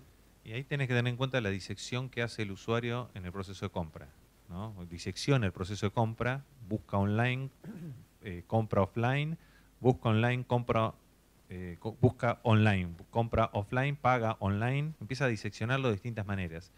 Y lo que tenés que tener es la tasa de conversión, cuando, cuando decíamos la tasa de conversión puede ser una venta o puede ser un lead calificado. ¿Cuánto pagarías por un lead calificado? Venta de seguros, por ejemplo. Hay modelos muy exitosos en Argentina de venta de seguros que no se vende el seguro online. Se vende telefónicamente después, pero se genera el lead calificado online y lo termino cerrando telefónicamente y no termina nunca yendo a una sucursal. Lo único que hace es, a través de un correo, firmar los papeles eh, físicamente, porque por regulación tiene que firmar físicamente los papeles. ¿Se entiende cómo diseccionás? Pero lo importante es que ¿qué es? Que vos como oferta llegás a la demanda y terminan comprando tu producto o servicio. No importa que todo el proceso sea online, hay que romper ese mito, o hago todo online o hago todo offline. Ahí- o hacer híbrido. A mí me parece que es muy este, las dos puntas, ¿no? Digamos, de la consulta online a, a un auto hasta la compra de un auto, el proceso es muy largo quizás lo que habría que ponerse es cuál es el objetivo de, de esa acción o de esa página o de, ese- de esa aplicación. Un objetivo puede ser generar un test drive. Entonces yo digo, bueno, ¿cuánto me cuesta cada test drive? Después tendré que ver de, de- de cada ¿Cuánto tiempo? Sí, cuánto- de cada 100 que hicieron de- test drive, ¿cuánto, cuánto, compraron? cuánto les vendo, ¿no? Eh. Este, me parece un objetivo intermedio, medible. Es como un funnel. Vos armás tu funnel y vas viendo cuándo termina. En cada momento tenés una conversión. O sea, hay modelos que tienen conversión en cada momento, tienen una conversión y vos vas analizando esos momentos y cómo los vas mejorando con optimizaciones. Un dato importante que generalmente preguntan es, es cómo me dice el online en el offline. ¿No? O sea, ¿cómo, me- cómo puedes hacer para medirlo? Y a veces es bastante sensible, sencillo. O sea, puedes hacer una promoción exclusiva del online que se redime.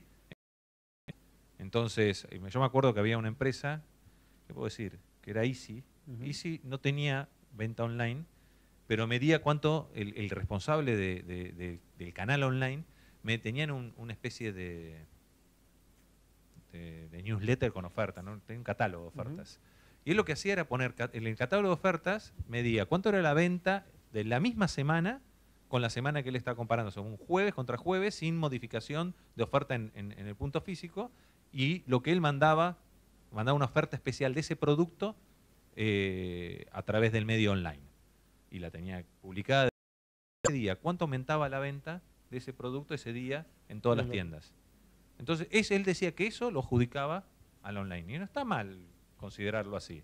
O sea, o, o agarrar y poner un, un código de producto, eh, que ese código de producto es únicamente del online y lo redimís en el offline.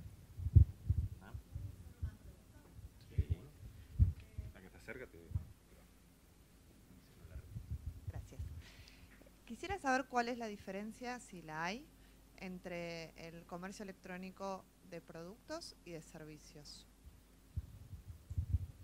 Vamos a la hago más compleja todavía. No es lo mismo vender food que non-food.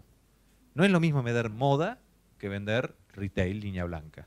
Y no es lo mismo vender, Para, diría, para ponerle números a eso. contenidos. digamos, un, un carrito online con 55 unidades promedio. promedio. Mientras que sé, un televisor. Este, Un retail línea blanca es uno y medio. Uno, uno y algo. ¿Está bien? Y moda son tres, por ahí dos, dos y algo. ¿tá? Entonces, son distintas experiencias, distintas formas de búsqueda. O sea, tenés una problemática en food que es las sustituciones.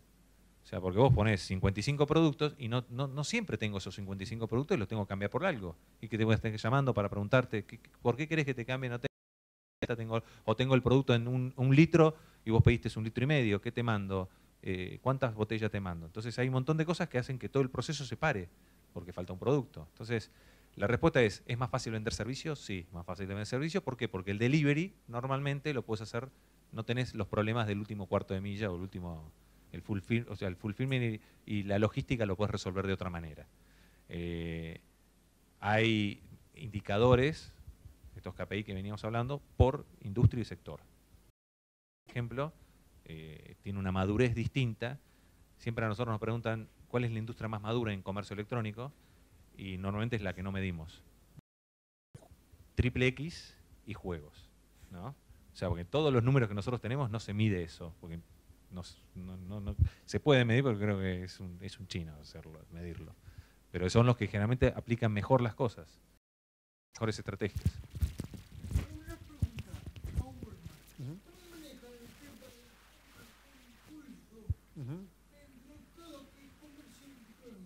Es un, es un buen punto, eh, porque la realidad es que yo lo, que decía es eh, al principio de la charla, la mentalidad del retailer tradicional es hacerte caminar por los pasillos y mostrarte lo que no fuiste a comprar o lo que no necesitas, pero te lo quiero vender. Eh, y, de hecho tengo un cuento acá que es cuando estábamos por lanzar la plataforma, hicimos este, grupos de consumidores y una la más valoraban, una era la comodidad, la otra el precio y la otra el control. Entonces el control sobre el gasto. Dice, yo cuando compro online voy viendo cuánto suma el carrito. Y, y en una presentación interna, este, alguien dijo, ¿por qué no le borramos el total? Así no se da cuenta. Entonces, eh, e- ese es el, el seteo mental de- que, que tiene el retailer tradicional, ¿no? Y, este, yo casi lo mato, este, este personaje, pero bueno, hay que entenderlo. eh, es, lo que, es la forma. Y No, pero la otra que hacen por ahí al revés es si sumás 10 pesos más, te ganás el flete gratis. O si sumás tan, si llegas a tal valor y la gente termina, o te, te ganas este premio, te llevas la gorrita. Y la gente termina comprando más por la gorrita. a veces. Sí, y al final del día, la- el impulso, si, si trabajás bien, este, el- el- el- todo el tema de minería de datos y este, Amazon son genios en eso, es no solo te muestra un producto que vos no, no buscaste, sino que ese producto está relacionado con lo que vos compraste antes o con lo, con lo que estás comprando. Entonces es un impulso digamos, este, totalmente puntualizado y, y personalizado. Y, y- y el gran desafío es, el nosotros llamamos merchandising, promociones y merchandising, lo más del, gran desafío en- dentro de lo que es mercado, el mercado, o sea, vender la tienda online y el comercio electrónico, pero repite mucho de lo que pasa en el offline. O sea, por ejemplo, dos por uno. ¿Por qué cuando vos en una tienda en Estados Unidos es muy común? Vos entraste a la tienda y el segundo producto es el 50%. Porque ya el CPA de traerte a la tienda ya lo tuve. Entonces, que te logre sumar de, de cross-selling o upselling es marginal, o sea, tiene un costo distinto. En el online pasa algo parecido. O sea, hay, hay una charla que nosotros damos que, que vale la pena, o sea, que, que como conclusión es la siguiente. Yo, yo tengo que armar una campaña de marketing online, todo lo que yo le dé una vez que está en la tienda, que sea menor al CPA, lo puedo armar. ¿Cómo armar promociones? ¿De qué manera armar promociones? Sin que atenten a la rentabilidad, porque un problema es que yo es muy fácil armar promociones de flete gratis. ¿Quién paga el flete? ¿Marketing o la rentabilidad del producto? ¿Está? Se entiende que las promociones está buenísimo el precio, modificarlo y poner un 50% de descuento, pero va en contra de la, o la rentabilidad del negocio. Entonces, ¿cuál, ¿cómo manejo promociones?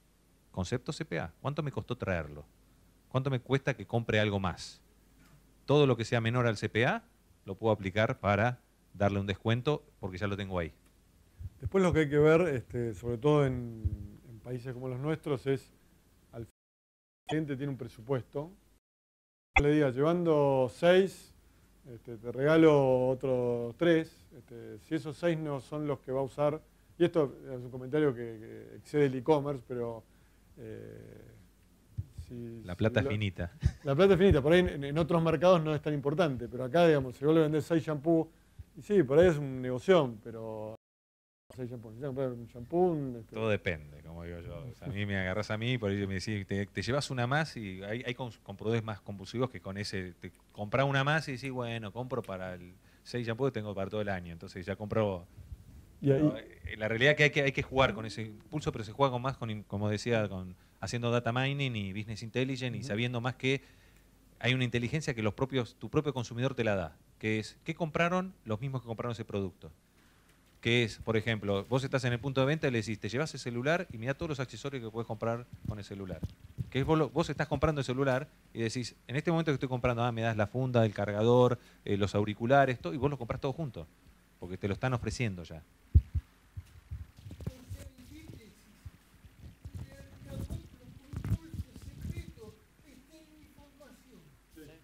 Información. Genial. Bueno, tenemos una última pregunta que viene del otro lado de la pantalla, digamos, ¿no? De aquella camarita que tenemos por allá. El otro lado del Eh, espejo ya me ponía. El otro lado de la pantalla del espejo. es- Eh, la cuestión es la siguiente. Preguntan eh, las tendencias en lo que es logística para e-commerce. De acá a cinco años. Muy buena pregunta. Cinco años nadie tiene la, la bola de cristal, ¿no? Lo- Locker, Locker es, es- Locker Sí, es una le- buena. Es a lo que iba. Hoy ya es una realidad porque acá hay, empresas que lo están haciendo, pero hay que ver que, cómo se aplica. En, en- en Alemania hay como En- 26.000 lockers En instalados. Polonia es, Polonia, este, sí. Polonia es, este, muy desarrollado. Lockers es este, bueno, lockers que están en puntos de venta, en puntos de alto tráfico y este, uno elige pasar a retirarlos por ahí, tiene menor costo. Creo que el- todo el tema de retiro en sucursales de los operadores logísticos este, abrió una cantidad de, de puntos de venta. Eso lo llamamos ahora, todos empezamos a ponerle un poquito, le poníamos un nombre distinto. Tenemos, se llama Trust Delivery Point. O sea, son lugares que no son tu sucursal, son sucursales de otro, si querés, o puntos del- de otro que vos usás para utilizarlo como, como el punto de entrega. Porque le poníamos todo nombre distinto. Entonces, todos empezamos a decir, ¿a qué estás llamando eso? Entonces empezamos a ponerle como nombre un concepto que es usar las sucursales de otros. Y de hecho, este, por ejemplo, acá, no sé, una empresa como Avenida, que es una que nació online, está abriendo sucursal física, ya tiene como 10 sucursales para materializar la propuesta, con lo cual hay, hay dos temas ahí. Uno es el acercarle al cliente la tangibilización del producto. La otra es este, un tema de costos, porque no es lo mismo de, costo total para el cliente. Eh, y finalmente es, este negocio crece tan rápido que a veces la logística no está preparada para acompañar ese crecimiento en esa velocidad. Y creo que también están los, hay, un modelo que tiene el grupo Sequoia, que es como si fuera un- un operador logístico muy grande, que es un spin-off que se llama Completa Log, que son los servicios no de full commerce, sino de tercerización de fulfillment. Y hacen como si fuera un hosting, housing y farming. O sea, no sé, bueno, los que conocen de tecnología entienden con yo podía tener mi servidor, alquilar el servidor o alquilar el espacio para poner mi servidor. Acá lo pasa algo parecido. Es, yo tengo en centro de distribución alquilo metros cuadrados y pongo yo mi gente, me dan, me dan la gente, me dan el- lo- directamente el servicio completo con la gente, o yo pongo la gente y ellos me dan los servicios de apoyo. Ese tipo de modelos son los que van a empezar a venir porque son los que necesitan para crecer algunas empresas. Y hay, y hay algunos modelos que son muy, muy ajenos a. De hecho, yo estoy en el rubro y lo hacen. Este, no sé si oyeron hablar de Instacart, que es una empresa que vos este, haces tus compras de supermercado, elegís en qué supermercado querés este, comprar. Y, y el concepto es el de crowdsourcing. Digamos. Hay voluntarios que van, hacen el picking en ese supermercado y te llevan el, este, el envío a tu casa. Tiene un costo adicional. Este, la verdad que es maravilloso porque no, no tenés que tener una estructura de piqueo. Pero, y no está compras en creciendo. un supermercado, No, te dan varias opciones, ¿no? Vos, vos haces tu pedido y ellos te dicen, mira, este pedido, el precio tiene en, en tal supermercado este número, está en tu supermercado este otro. Es como que hacen un comparador de supermercado de- del mismo carrito y te lo y tienen alguien que está en la zona que eh, hace el picking por vos por 5 dólares. De alguna manera, digamos, como tendencia es el crowdsourcing este, implementado este, o aplicado a la logística. La verdad que es súper interesante todo lo que compartimos. ¿eh? Eh, muchísimas gracias a los dos, tanto Gustavo como, como Marcos. La verdad que súper enriquecedor. Eh, si quedaron preguntas, les voy a invitar a que ahora en el espacio networking bueno, las puedan hacer, ellos van a estar presentes. Agradecerles desde ya a la Uni- Universidad de Itela, al, al centro digamos, de, de- de graduados. Muchísimas gracias por el espacio, por acompañar. La gente de Value Express Solutions, Eventbrite, que nos acompañan también desde Estados Unidos, están siguiendo el evento online. Eh, bueno, el equipo de Ventios desde ya que están en Mendoza trabajando eh, codo a codo. Eh, a la gente bueno, de Apertura y, y Infotechnology también y Pulso Social, que también nos estuvieron acompañando en el evento. Y bueno, desde ya todos ustedes. Sigue Tendencias, Tendencias se va a repetir y va a haber una nueva, una nueva edición en mayo seguramente, con lo cual les vamos a estar comunicando. Eh, y bueno, Tendencia no termina porque también hay algunos pequeños obsequios que van a estar recibiendo en sus casillas de mail seguramente mañana. Recuerden que si quieren recibir los materiales que presentamos, nosotros vamos a esto, le vamos a agregar los estudios que estuvimos hablando y el video que... eh, Pancho, ¿cuándo vas a tener el video ya online? ¿Ya queda? Ah, es tiempo real. Ese es delivery. Eh, la encuesta va a salir seguramente mañana, porque eso cuesta un poquito más. Eh, y ahí van a recibir todos los materiales. Para los que están online, ¿cómo hacemos, Eri? Los que están online que quieren recibir los materiales. Ya, Aquellos que están online, respondan a la encuesta. Excelente. Muchísimas gracias. Un aplauso, por favor, para... para...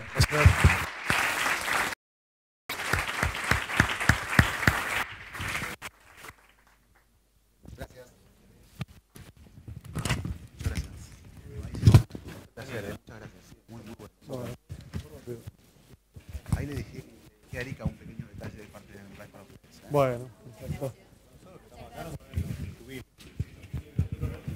Sí, muy bueno, muy bueno. Hola, ¿qué tal? Gustavo.